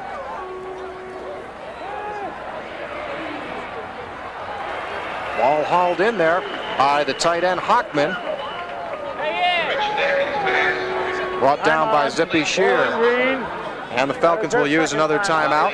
They'll have one remaining with 14 seconds to go here in the first half. The man with his hand on his chin is the Bowling Green head coach, Mo Ankney, in his third season with the club. Two years he's brought them to a 10-win, 12-loss record. A season ago, Bowling Green finished up with a 5 and 6 mark. That was tied for good enough for a tie of second place in the Mid-American Conference. The MAC Conference has traditionally has always been known to play good, solid football, particularly Bowling Green, Miami of Ohio. And Some awful good coaches have come out of those two schools. Needless to say, Don Nehlen, right? Well, Don Nehlen, Bo Schembechler was a one-time assistant right. at Bowling Green. You can go down the list. Larry Smith, the USC head coach, was with Nehlen at uh, Bowling Green. And that's where Mo Ankney got his start. He followed around Larry Smith as Smith was making his steps into the coaching hierarchy. And Mo Ankney was the team's defensive coordinator. This week, Made stops, excuse me, at Tulane, Ball State, Arizona. Then, when the head coaching job came up at Bowling Green, when Denny Stoltz left for San Diego State, Ankney came in and came back to the alma mater. Third down and six. You can expect pressure here for from West Virginia with 14 seconds to go in the half. Timing pattern. Thornton, the intended receiver, and playing the tough coverage for the Mountaineers. Again, Coach Shaw using that philosophy that he has, go get them. Both linebackers blitz threw the timing off the pattern. They didn't have time to set it up. That was David Lockwood back on the coverage. Jason Zeller will come on to try the field goal with 11 seconds to go here in the first half of play. They'll spot it at the 20-yard line, so a 30-yard attempt for Zeller.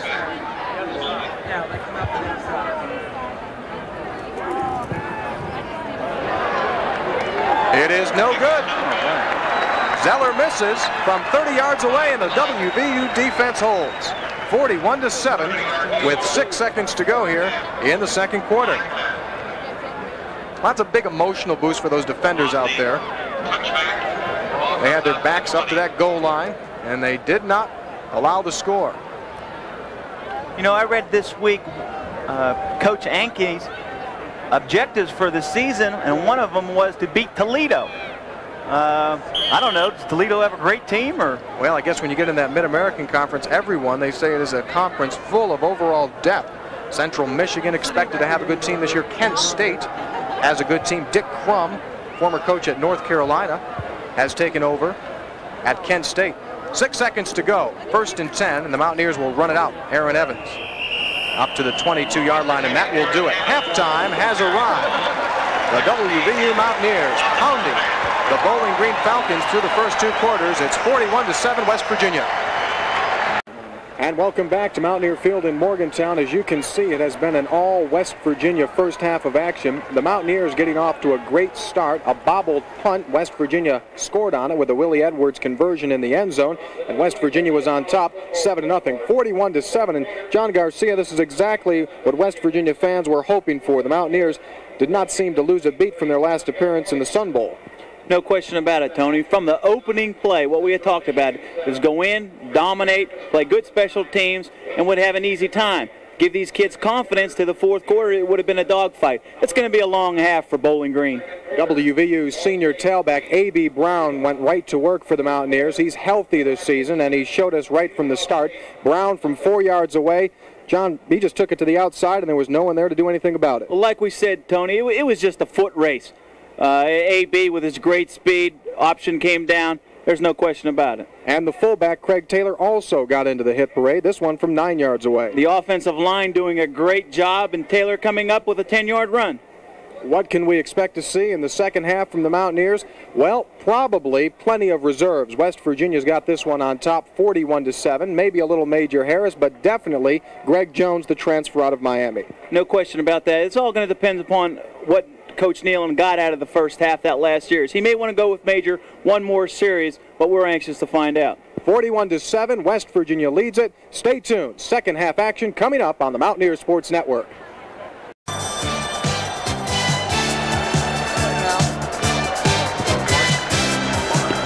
And we welcome you back to Mountaineer Field, West Virginia on top by a score of 41-7. I'm Tony Caridi along with John Garcia.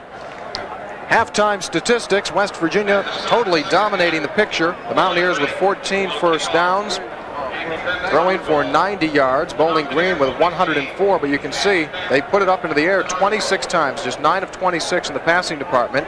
The Mountaineers with 209 yards on the ground for a total of 299 yards of offense. One turnover by the Mountaineers, and the time of possession belongs to Bowling Green. But the score belongs to West Virginia, 41 to 7. Darren Fulton back deep to return the second half kickoff. Jason Zeller ready to put the ball into play. Good boot by Zeller. And Fulton will not have a return. West Virginia will start off the third quarter of play, first and 10 from their 20-yard line. Boy, he kicked the air out of that one, didn't he? Banged it. Charlie Baumann has put two in the end zone, forcing touchbacks for West Virginia, but that's the first one that Zeller put that deep. Head coach Don Nehlen well on his way to becoming West Virginia's all-time winningest coach. 58 victories, ties him with Art Pappy Lewis, and with 59, barring a miracle comeback, have the all-time record here today. Greg Jones will start the second half at quarterback for West Virginia, and Eugene Napoleon will start it with a big run from scrimmage across the 30-yard line, may have the first down.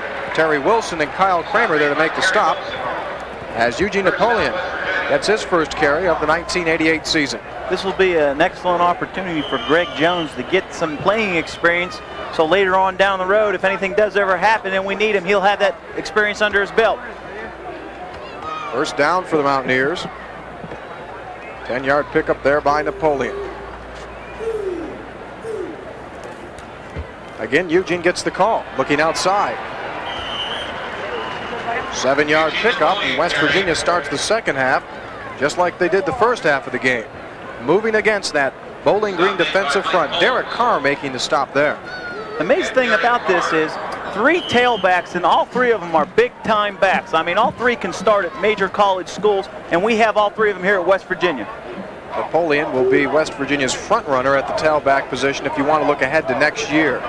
Both A.B. Brown and Undra Johnson leaving. This time the room is tough for Napoleon, but he turns it around. And he brings it close to that first down marker at the 40-yard line. This guy's extremely quick and elusive. Remember the 94-yard touchdown return he had against Maryland last year. He says that he wants to improve his pass receiving this season. Last year, he caught four balls, 56 yards. Says that he wants to become more of a factor as a pass catcher. He's picked up 19 yards on three carries here in the third quarter. Third down and one, just shy of the first down marker. Napoleon has the first down plus some more. Across the 45-yard line. Two tight end offense, and it's just rock'em sock'em football. I mean, that offensive line just blew him off the ball. Eugene saw a hole and slid up in there. Aaron Evans and Daryl Mitchell come out of the lineup for West Virginia. Calvin Phillips and Grantis Bell in as receivers. Rico Tyler, the fullback for the Mountaineers. Eugene Napoleon at the tailback position on first down. Jones with his first pass for the Mountaineers. Has his man. Calvin Phillips to the 30-yard line. First down, West Virginia. Calvin Phillips' first reception of the afternoon. Senior out of Boynton Beach, Florida. Had nine catches last season for 153 yards. And he's looking to be a key member of the WVU receiving corps this season. 25-yard pickup brought down there by the free safety Kyle Kramer. There's a shot of Calvin, who, as mentioned earlier, appears in a picture with Grantis Bell in this week's edition of Sports Illustrated. Inside, Rico Tyler. Wayne Crenshaw, the nose guard, making the stop. Did you see Rico this week? Appearing on ESPN, the feature on the Mountaineers, which Beano Cook ranked them number one. Beano provided the percussion for the Major Harris rap. That they use is bald head? They I don't know how they do that. Four-yard pickup at second down and six from the Bowling Green 26-yard line.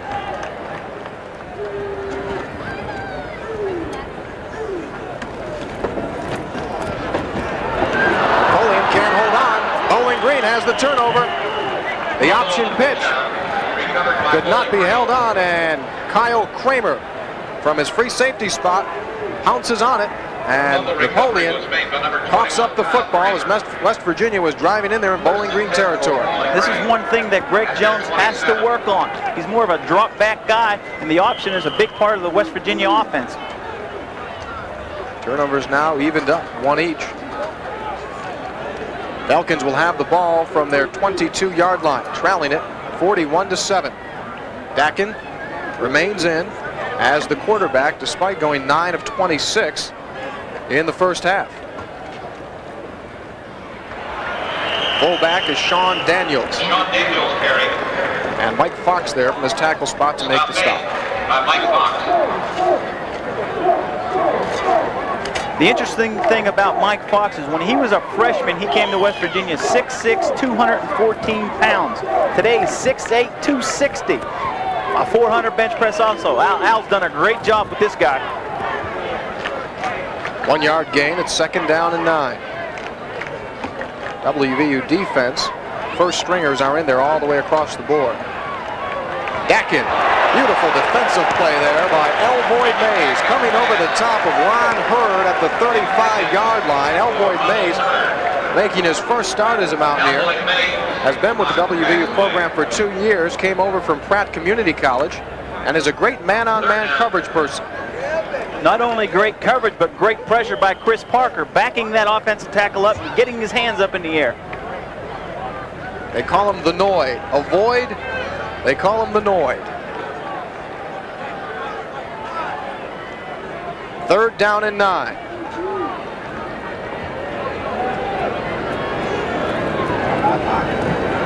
Dackin with a straight drop. As his man Hurd, but they'll be shy of the first down. Ball hauled in at the 35-yard line. Mays again on the coverage. But that'll bring up fourth down and two yards. Mountaineers have already blocked two Bowling Green punt attempts as Chris Shale goes back deep. Again, you see that 10-man look. It would certainly put him, uh, make a uh, punter nervous Fulton and Whitmore are on the corners. Here comes Whitmore. Hunter goes down. No flag, though. Bell from the 25. Grantis Bell rolls it up to the 38-yard line. West Virginia will take over, and so the fumble by Eugene Napoleon does not cost the Mountaineers. 10:31 to go. West Virginia on top, 41 to 7. First and 10 from the WVU 38-yard line. Greg Jones in as the West Virginia quarterback. Eugene Napoleon, his sixth carry this afternoon, looking outside, and he's got room. Kyle Kramer makes the stop with some help there from Larry Lambright, inside linebacker. Grantis Bell, number one, made a great crackback block. That little guy came in there and really stuck it to that linebacker. Usually it's those wide receivers tiptoe when they want to come in on a linebacker, but he really stuck his head in there. Grantis Bell, the smallest of the WVU starters at 5 feet 9, 150 pounds. A marker is down on the play. So, soaking wet, right? Clipping against the offense. 15-yard penalty. Repeat, first down. So the clipping penalty will bring West Virginia back to their 24-yard line. As one Mountaineer fan gets a bird's eye view. First down and 25. They'll replay the down. Rembert lines up as a receiver wide to the right.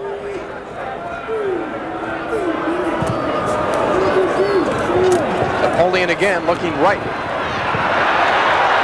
With a big block there from Reggie Rembert, he was able to scoot along to the 40-yard line. That'll almost bring him back to the original line of scrimmage. Tony McCorvey, the left quarterback, finally made the stop, but watch Reggie Rembert, number 88 on the play. Great job on the toss sweep. Eugene sees the same and just keep running. Reggie does a great job up front. Screening off the defender. Second down and seven from the 40-yard line. Jones looking for his second pass, going for Rembert. He's got him. First down, Mountaineers into Bowling Green territory at the 44. This this is Greg Jones' forte. Play action pass, stand in a pocket, and zip the ball in there. Boy, he really shoots the pill that time. It won't count, however. Penalty marker is down. Ineligible man downfield is the preliminary signal. So a clip, and now another penalty coming up against West Virginia.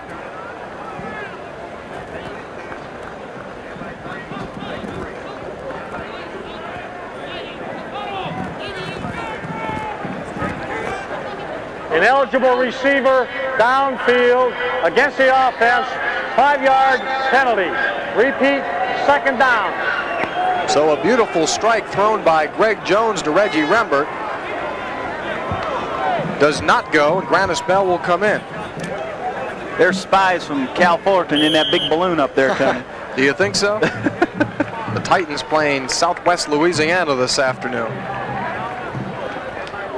Second down and 12 from the 35-yard line.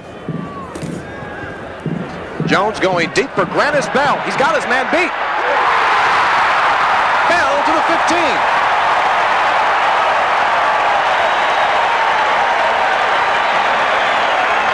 West Virginia does have a number two quarterback that can come in and do the job.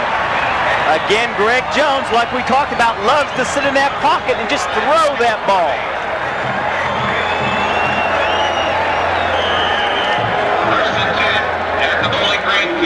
So the Mountaineers, penalties or not, will not die on this drive. At the Bowling Green 15-yard line. Jones now two of two for 75 yards. Napoleon drags it just shy of the 10-yard line. Bowling Green has yet to be penalized with West Virginia six penalties for 60 yards. Eugene Napoleon did not have a carry, although he got in for a couple of plays in the first half. But here in the early part of the third quarter, Napoleon has been getting the call.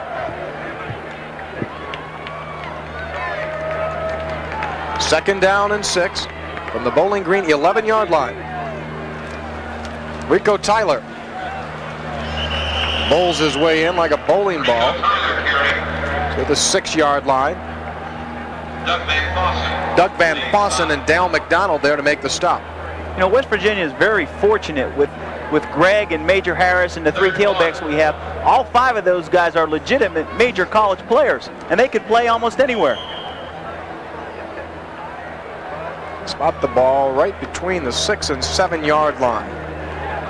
Jamie Lamont lines up as a receiver to the left. Reggie Rembert to the near side.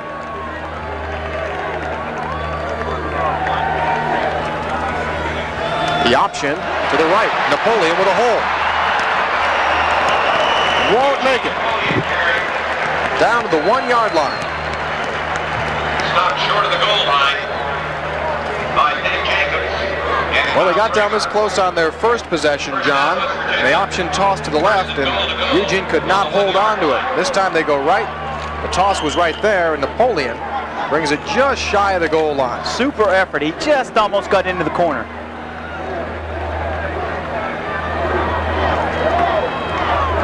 Aaron Evans lines up as a wing back to the right. There he is, 36. Napoleon slips. Jones will keep. Just shy of that goal line. Broken play, but Jones turned it upfield. Napoleon, the intended ball carrier on the play, if you'll see it, he slipped on his footing as he started off. Toy Eason and Mike Holmes come over to make the stop on Greg Jones. Greg shows a lot of maturity here. Even though there's a broken play, he's still aware of where he's at, and he gets up the field and almost gets in. Timeout on the field.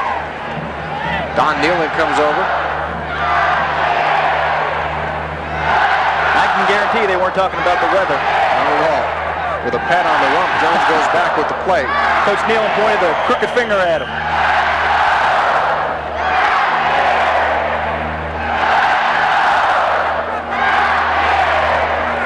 From one yard away. Second down and goal. Napoleon.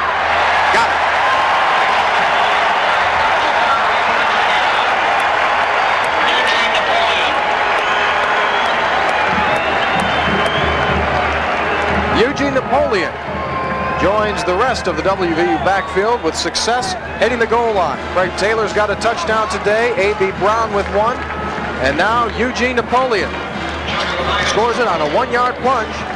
And the Mountaineers lead it by 40 points, 47 to 7. Baumann's extra point is there. West Virginia 48, Bowling Green 7, 6.41 to go, third quarter of play. Hey, don't forget, fans, that Mountaineer Sports Night will be coming to you next Friday evening on MSN Television. Host Woody O'Hara will talk with Coach Don Nehlen and preview the Cal State Fullerton game. New show is loaded with features and information giving fans a behind-the-scenes look at West Virginia football. Consult your local listings. Well, I tell you what, John Garcia, a very impressive drive by the WVU Mountaineers as they score their 48th point of the afternoon. Despite two 15-yard penalties in that drive, they were able to march the field and come away with a score culminating with a Eugene Napoleon dive from one yard away. Greg, Greg Jones showed a lot of maturity there, took the team, took control, and drove right down the field. That'll pay dividends, Tony, later on in the season. This is invaluable time. You can practice as much as you want during the afternoon sessions, but it's only during a real game situation that that's right. you become comfortable with the system, and that's what Greg Jones is doing. That's what Don Nehlen is using him here in the second half for. And it's great for morale to go out and have some fun, right? You know, Jones came into the season saying, I know I'm the number two quarterback, and why not with the great season that Major Harris had. As you can see, it took seven plays, 62 yards. But he says, I also know that I'm only one play away from being in there. That's right. You never know what is going to happen. I.G. Thornton back deep to return for the Falcons. Thing, Baumann is ready. the thing about that is, Tony, is that he accepts that role and is ready to come in, and that, that's a big value to a team. Thornton from the five-yard line. Tries to work it right, and he's knocked short of the 25. Return to kickoff. So the Falcons will try it again. And there's Greg Jones, 66, Theron Ellis. Mountaineer quarterback who came in last season, about this time last fall, and has been learning the WVU system ever since. Stands six feet two inches tall, weighs 190 pounds, and he, according to Dwight Wallace, was the most impressive high school player he ever saw. That's Darren Fulton down for the Mountaineers, being attended to by trainers Greg Ott and John Spiker.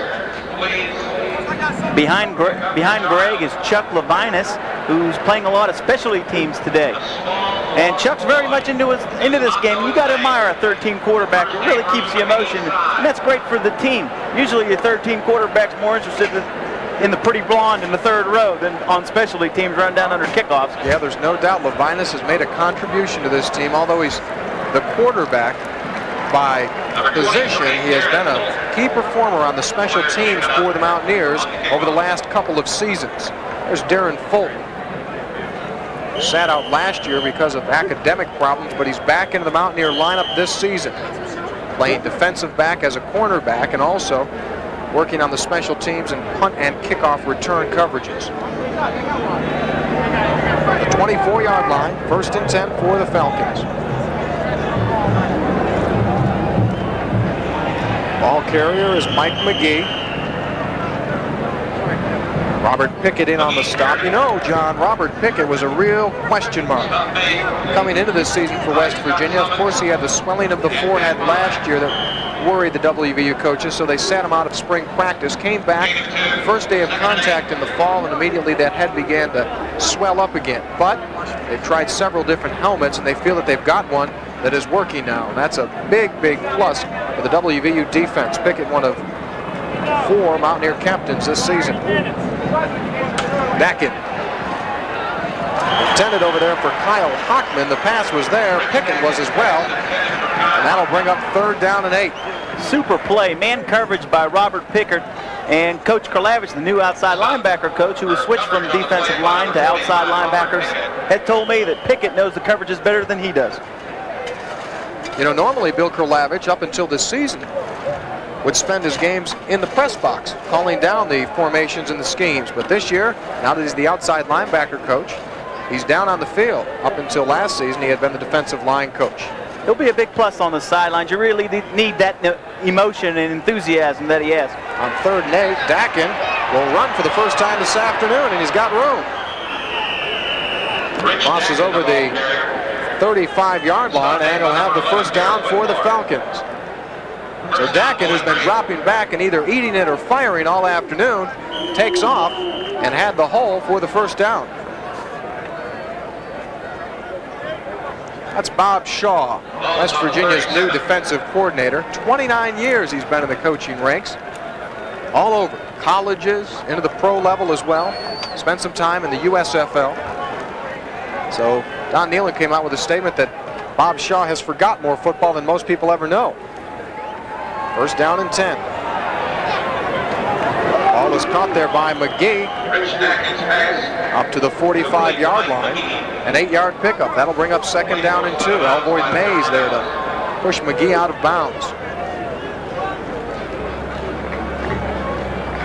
talking about Robert Pickett's, Pickett's injury, it's really strange. I talked to John Spiker, one of the athletic trainers, and he said it's very unusual. He only knows of three since he's been associated with athletic training. Two at West Virginia and one at Louisville. They think they've got the helmet now to take care of it. They hope they do. Second down and two. And McGee on the carry. McGee carrying the ball. Close to the first down marker. Eric Lester in underneath the pile to make the stop, and he'll come off the field now. Mike McGee. Six foot one inch, 230 pound senior from Dayton, Ohio. Had a great average per carry last season, 6.2 yards, but as mentioned earlier, could not hold on to it. Fumbled five times, and head coach Mo Ankney found him a spot on the bench for most of the season because of that. And these guys are so big, their fullback and tailback combination, 225, 230. It's awful difficult for those big guys to get to the perimeter, and that's why the majority of their game is between the tackles. He's run good for the first down, and so Bowling Green on the drive, putting together a couple of first downs. Four minutes and 53 seconds to go, third quarter of play. West Virginia leads it 48 to 7. And you can see the Mountaineers have just dominated on the ground.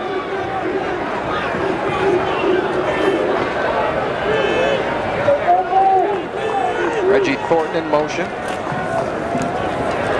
Pressure is on, and they got it. Pat Marlette, defensive tackle for West Virginia, the senior out of Princeton, New Jersey, came from behind to make the stop. Talk about a guy that beefed up in the offseason. Pickett, I should say Marlette, weighs 285. He left at 250 pounds last May. So a very productive offseason. You can see beefed up is Pat Marlette, but still has the speed to make the stop on a Rich Dackin keep. 450 pound bench presser, and I was at a barbecue last Sunday with him at one of the coaches' house, and you should have seen how many hamburgers he ate. I was going to ask you, did he have his own steer? Delay draw. This is Charles Edgerton and Basil Proctor, along with Steve Grant, there to make the hit. The. Edgerton comes into the season, Stop made by Steve Grant. senior or junior out of Columbus, Ohio, as a question mark. Has never had a full season at Bowling Green, bothered by injuries throughout his career. And the thing about Pat Marlette that is so impressive, he's a senior coming into his last season, and he's a role player. He knows he accepts his role as a backup tackle and, and does a good job. Third down and 17 facing the Falcons. Pressure is on. Dackin with a dump to Edgerton. Proctor makes the hit. Basil Proctor, number 99, playing his first game as a Mountaineer, came over to make the stop along with David Lockwood. And the fans give the Mountaineer defense an ovation as Robert Pickett looks to the sidelines. Just a super job by that inside linebacker reading that screen and having a feel for it. Really gets up in there. Great job. Grantis Bell standing at his 25. Chris Shale to punt from the 22-yard line. Mountaineers play the return. Bell charges from the 31. Curtis Bell. Reaches the 33-yard line. That's where West Virginia's offense will start from. First and 10 from the 33. The Mountaineers lead at 48 to 7. 2:21 to go. Third quarter of play from Mountaineer Field.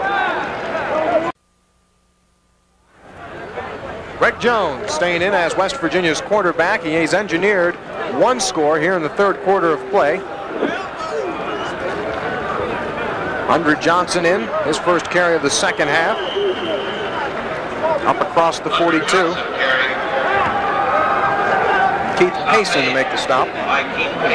Napoleon was featured in the first series here in the second half, and now Undra Johnson in to get his share of carries. There's the Mountaineer defensive coaches. Bill Kirelawich with the baseball hat turned backwards, along with Pat Marlette pouring the water over his head, Skip Fuller, Steve Grant. Four-yard pickup. Inside handoff goes to Aaron Evans, and he drags a couple of tacklers. Aaron Evans carrying. Shy of that first down marker. One of the things that makes this three tailback situation a, a great combination is that they can roll these guys and they get a break. Those inside linebackers have to stay in there every series for Bowling Green, and they really take a pounding. Taking it the easy way. That's Darren Fulton. We saw walking off earlier. He's got a couple of ice packs back there on the calf muscles. Apparently he was cramping up. Over the top, and that's a first down for the Mountaineers. Toy Eason making the stop, but not before Undra Johnson took the up and over.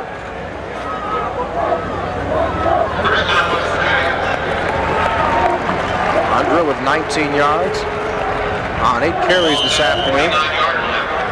Senior out of Fort Lauderdale, Florida, played at Stranahan High School. He enjoys and enjoyed West Virginia so much, he told one of his friends from his high school team, Harold Ortiz, that he should also consider West Virginia, and he did. Rembert, knocked out of bounds at the 39-yard line, make it the 41-yard line. Knocked out there by Tony McCorvey. So Rembert comes in his first game as a Mountaineer and makes an immediate impact. McCorvey, who was over to make the stop, shaken up on the play. The Mountaineers continue their homestand as West Virginia takes on the Titans of Cal State Fullerton next Saturday. This is one of the, the first seasons in quite some time that West Virginia has had four captains, Tony. Uh, it's probably one of the most emotional little experiences I've ever been through. We, the team got together here last Sunday, and I know years past, Coach Neal, we always voted on it, and ha we have it here at night, and they flash the names on the scoreboard, and it really brings the team together. It has been an afternoon that won't soon be forgotten by the WVU football team. West Virginia leads at 48 to 7. And for all the Mountaineers, all you do, this bud's for you. Greg Jones off to a strong start as WVU's quarterback, three of three here in the second half for 84 yards. The difference between Jones and Harris, not only in their style of play, where Jones is a more drop back style passer and Harris is more of a scrambler, but physically. Harris and Jones almost the same height. Major is six feet one inches tall, 207 pounds. Jones is 6'2", 190. So he's got about 17 pounds and another inch on the major, and he's more of a lanky player, and that's one reason why he's more of the drop back type quarterback. The thing about Major is that his arm is so deceiving. Uh, he's not in the stature of a, a, Danny Marino or a Jim Kelly or a Doug Williams, but he still can sit back there and really rifle that ball. And that's one thing I was surprised about. He can still flip that ball 65 yards. 48 seconds remaining here in the third quarter of play. Tony Caridi along with John Garcia. Christian Miller handling the spotting chores in the box this afternoon. John Antonick providing the statistics along with Miles Montgomery. Well, McCorvey gets walked off. And that'll bring in Dave Jacobs at the left cornerback position.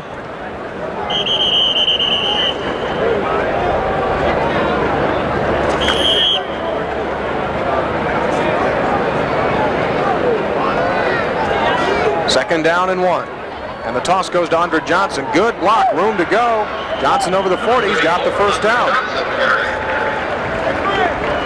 Steve Wilborn and strong safety Terry Wilson there to make the stop as Johnson sliced his way for the first down.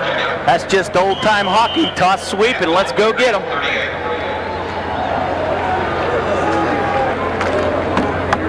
Scott Parker in there for West Virginia at a tackle position. Johnson again. A Slicing runner. Shy of the 35-yard line as the clock continues to wind down. 17 seconds to go here in the third quarter of play. Dwayne Crenshaw credited with the stop for Bowling Green. Greg Dykes comes into the Mountaineer huddle. Another junior college receiver. Spent last season at Hutchinson Junior College in Kansas we received an All-American position on the first team. Clock winds down. The quarter comes to an end. West Virginia leads it after three, 48 to 7. Don't go away. Well, the offensive Jets cool a bit in the third quarter for West Virginia. The Mountaineers scoring one touchdown, leading it 48 to 7 as we begin our final quarter of play. Second down and seven from the 36-yard line in Bowling Green territory. Undra Johnson Slowed down and pushes ahead. Knocked out by Toy Eason. Eason, a sophomore outside linebacker, considered the best outside linebacker on the Bowling Green team. You know, underplayed in all, in 11 games last year, and uh, he's done a great job almost every time he's gone in there. You can see the dominance by West Virginia in the rushing department. Total offense 436 to 161. Third down and three. Again, it's Johnson outside. Down to the 21-yard line. That play, you could see the sand-filled surface here on the Omni-Turf scoot up as Johnson was dragged down. The sand flew up. Kyle Kramer, the free safety there to make the stop on Undra. First down for the Mountaineers. Undra his freshman year against Temple, he ran for 206 yards. Had a great performance. That's That ranks as the fifth overall total rushing. Fifth best afternoon Yes. by a Mountaineer back. It was in the rain. West Virginia's Mountaineer for this season.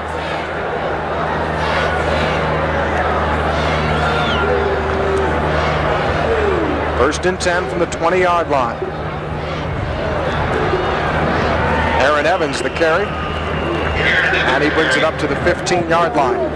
Stop made by Todd Curtis. Todd Currents there to make the stop. Assisted by Dean Arnold. So that'll bring up second down and five from the Bowling Green 15 as the Mountaineers look to crack the 50 mark. Leading at 48 to 7. Again, it's Aaron Evans, and he's got the first down. That'll bring up first down and goal for West Virginia. Evans, the sophomore running back out of Richmond, Virginia. His dad, Hugh, is one of the veteran NBA officials. That was a, a great, strong effort, twisting and turning and slashing, trying to get every inch. We'll see a lot of him in the future. First and goal from the six-yard line.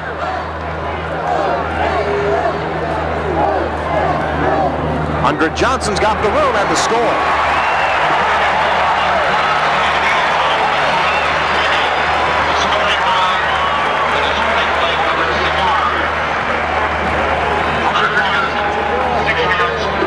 Hunter makes a great move. He has great vision. He's able to, to slip back there and find the seam. And gets in for the touchdown.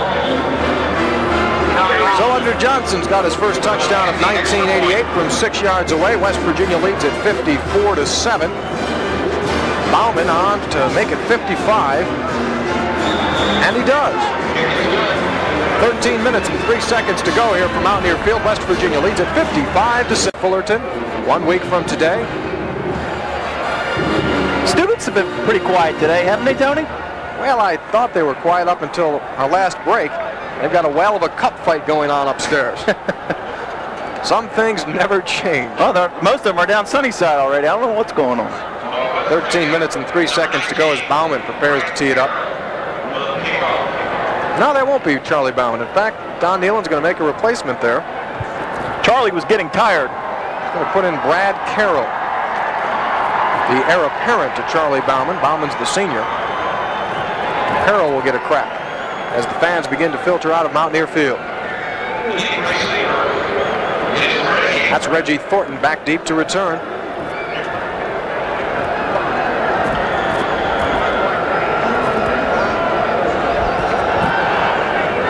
Carroll works it to the near side, and like Charlie Baumann, he puts it in the end zone, but this time Thornton will come out. From two yards in, reaches the 20-yard line. Alex Shook, redshirted freshman out of John Marshall High School, in there to make the stop. West Virginia native. Stop, number 43, Again, like we said earlier, Tony, it's easier for that right leg kicker to kick to the right because he has that range of motion and the follow through. And you'll be able to see that ball go deeper. But when he kicks to the left, it's a little bit more difficult, almost like a uh, golfing.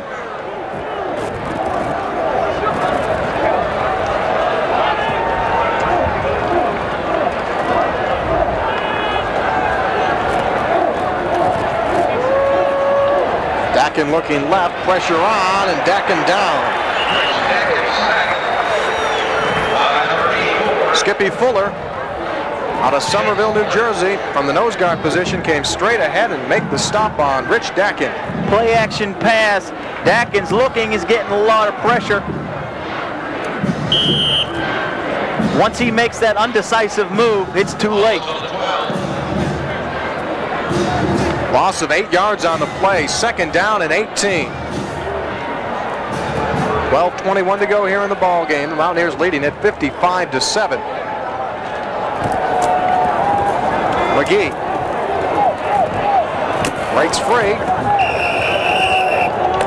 Hazel Proctor had a hand on him, but could not make the stop. McGee split through and brings the ball up to the 23-yard line.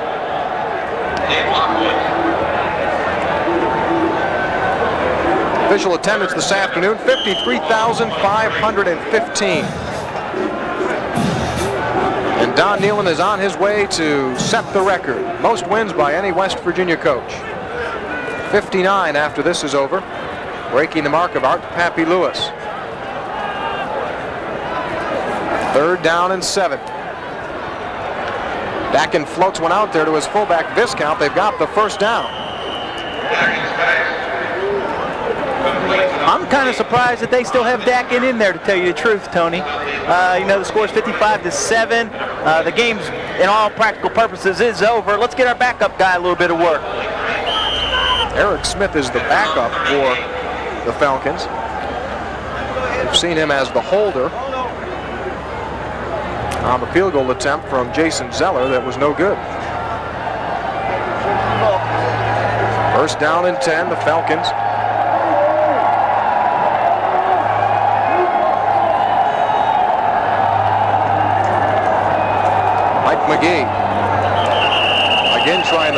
West Virginia defensive front. E.J. Wheeler from his inside linebacker position came around, uh, scooting down to make the stop along with Skippy Fuller. A look at West Virginia quarterback Greg Jones. He's engineered two touchdowns here in the second half of play. His first action as a Mountaineer after sitting out last year after transferring from the University of Miami. He's looked impressive, John. He certainly has.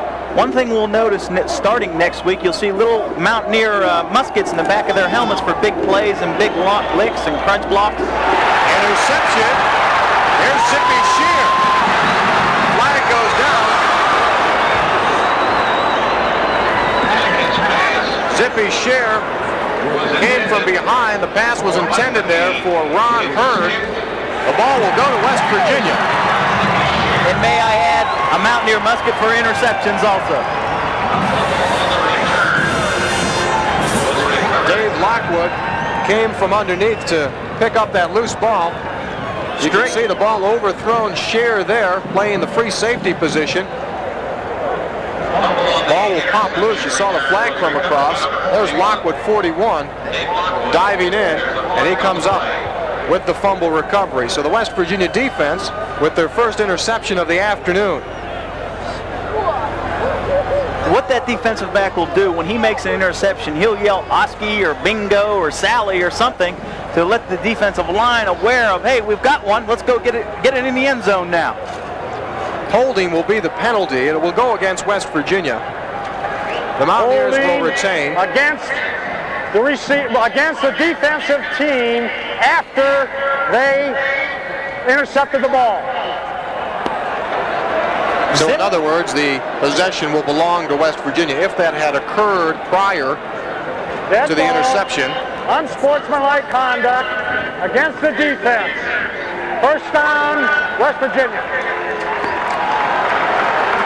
So to sort it out, they'll take the holding penalty, mark that off, and then they'll add on an unsportsmanlike call against Bowling Green. And when that's all done with, West Virginia will have the football at the 33-yard line in Bowling Green territory. Zippy, he's another uh, great team player. Came to West Virginia out of St. Francis High School here in Morgantown, a walk-on. And I mean, that's really good to see a kid get an interception like that. He was a great high school running back. In fact, he led the state in scoring in his senior season. Napoleon slicing. Crosses over the 25-yard line. Eugene Napoleon has one score in the ball game. It came early on in the third quarter. Knocked down there by Dale McDonald and strong safety Terry Wilson. Zippy was the runner-up uh, for the Kennedy Award here in West Virginia. That's right. A business major.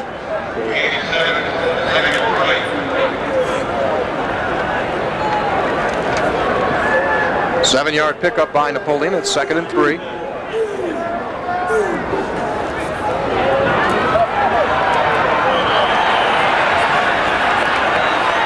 Fullback keep on the play as Jones ran through the option.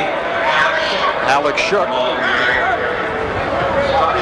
redshirted freshman out of John Marshall High School, getting his first collegiate carry.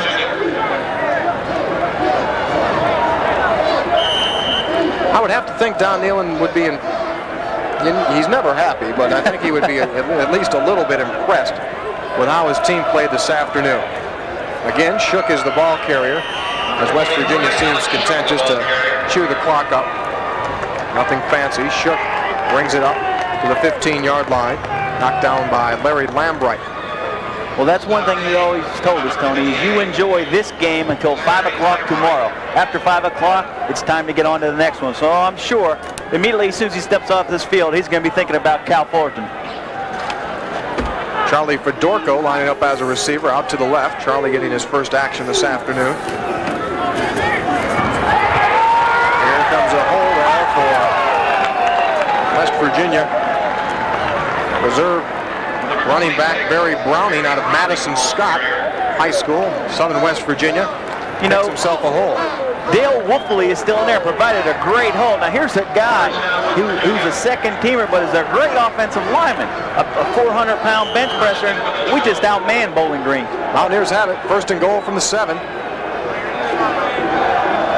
Alex Shooken at the fullback position, Barry Browning at the tail, and it's Browning again, up to the five-yard line. Browning was uh, very impressive in spring practice.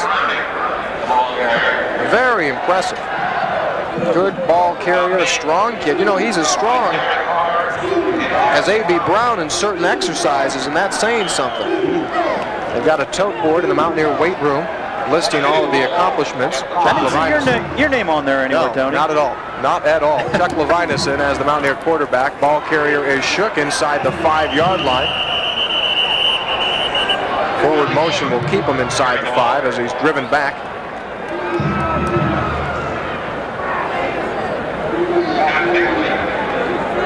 You know, the, the accomplishments, accomplishments that they've made in the weight room is pretty much indicative of the success that they've had here.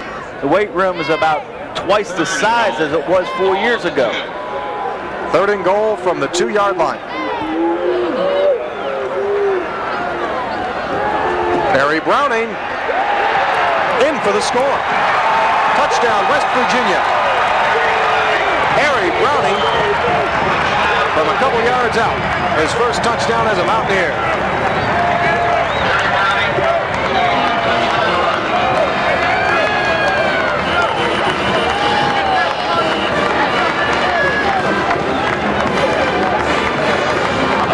Talked a little bit earlier about uh, the possibility of West Virginia overlooking Bowling Green. One emphasis that Coach Nehlen has done is he's blocked out every game on the schedule in the locker room except Bowling Green. Next week we'll take off Cal Fullerton and we'll keep the rest of them blocked out. So you, you keep focused on that one game only and take them one game at a time. West Virginia leads it 61 to 7 with 7 minutes and 23 seconds to go in the ball game. Charlie Baumann's extra point attempt straight through in West Virginia has a 62-point afternoon with 77 minutes and 23 seconds to go. Tell you what, Gar, you'd have to go a ways back in the Mountaineer record book to see when they scored 62 points on the last last time they scored 62 points. You may have to add a couple games together.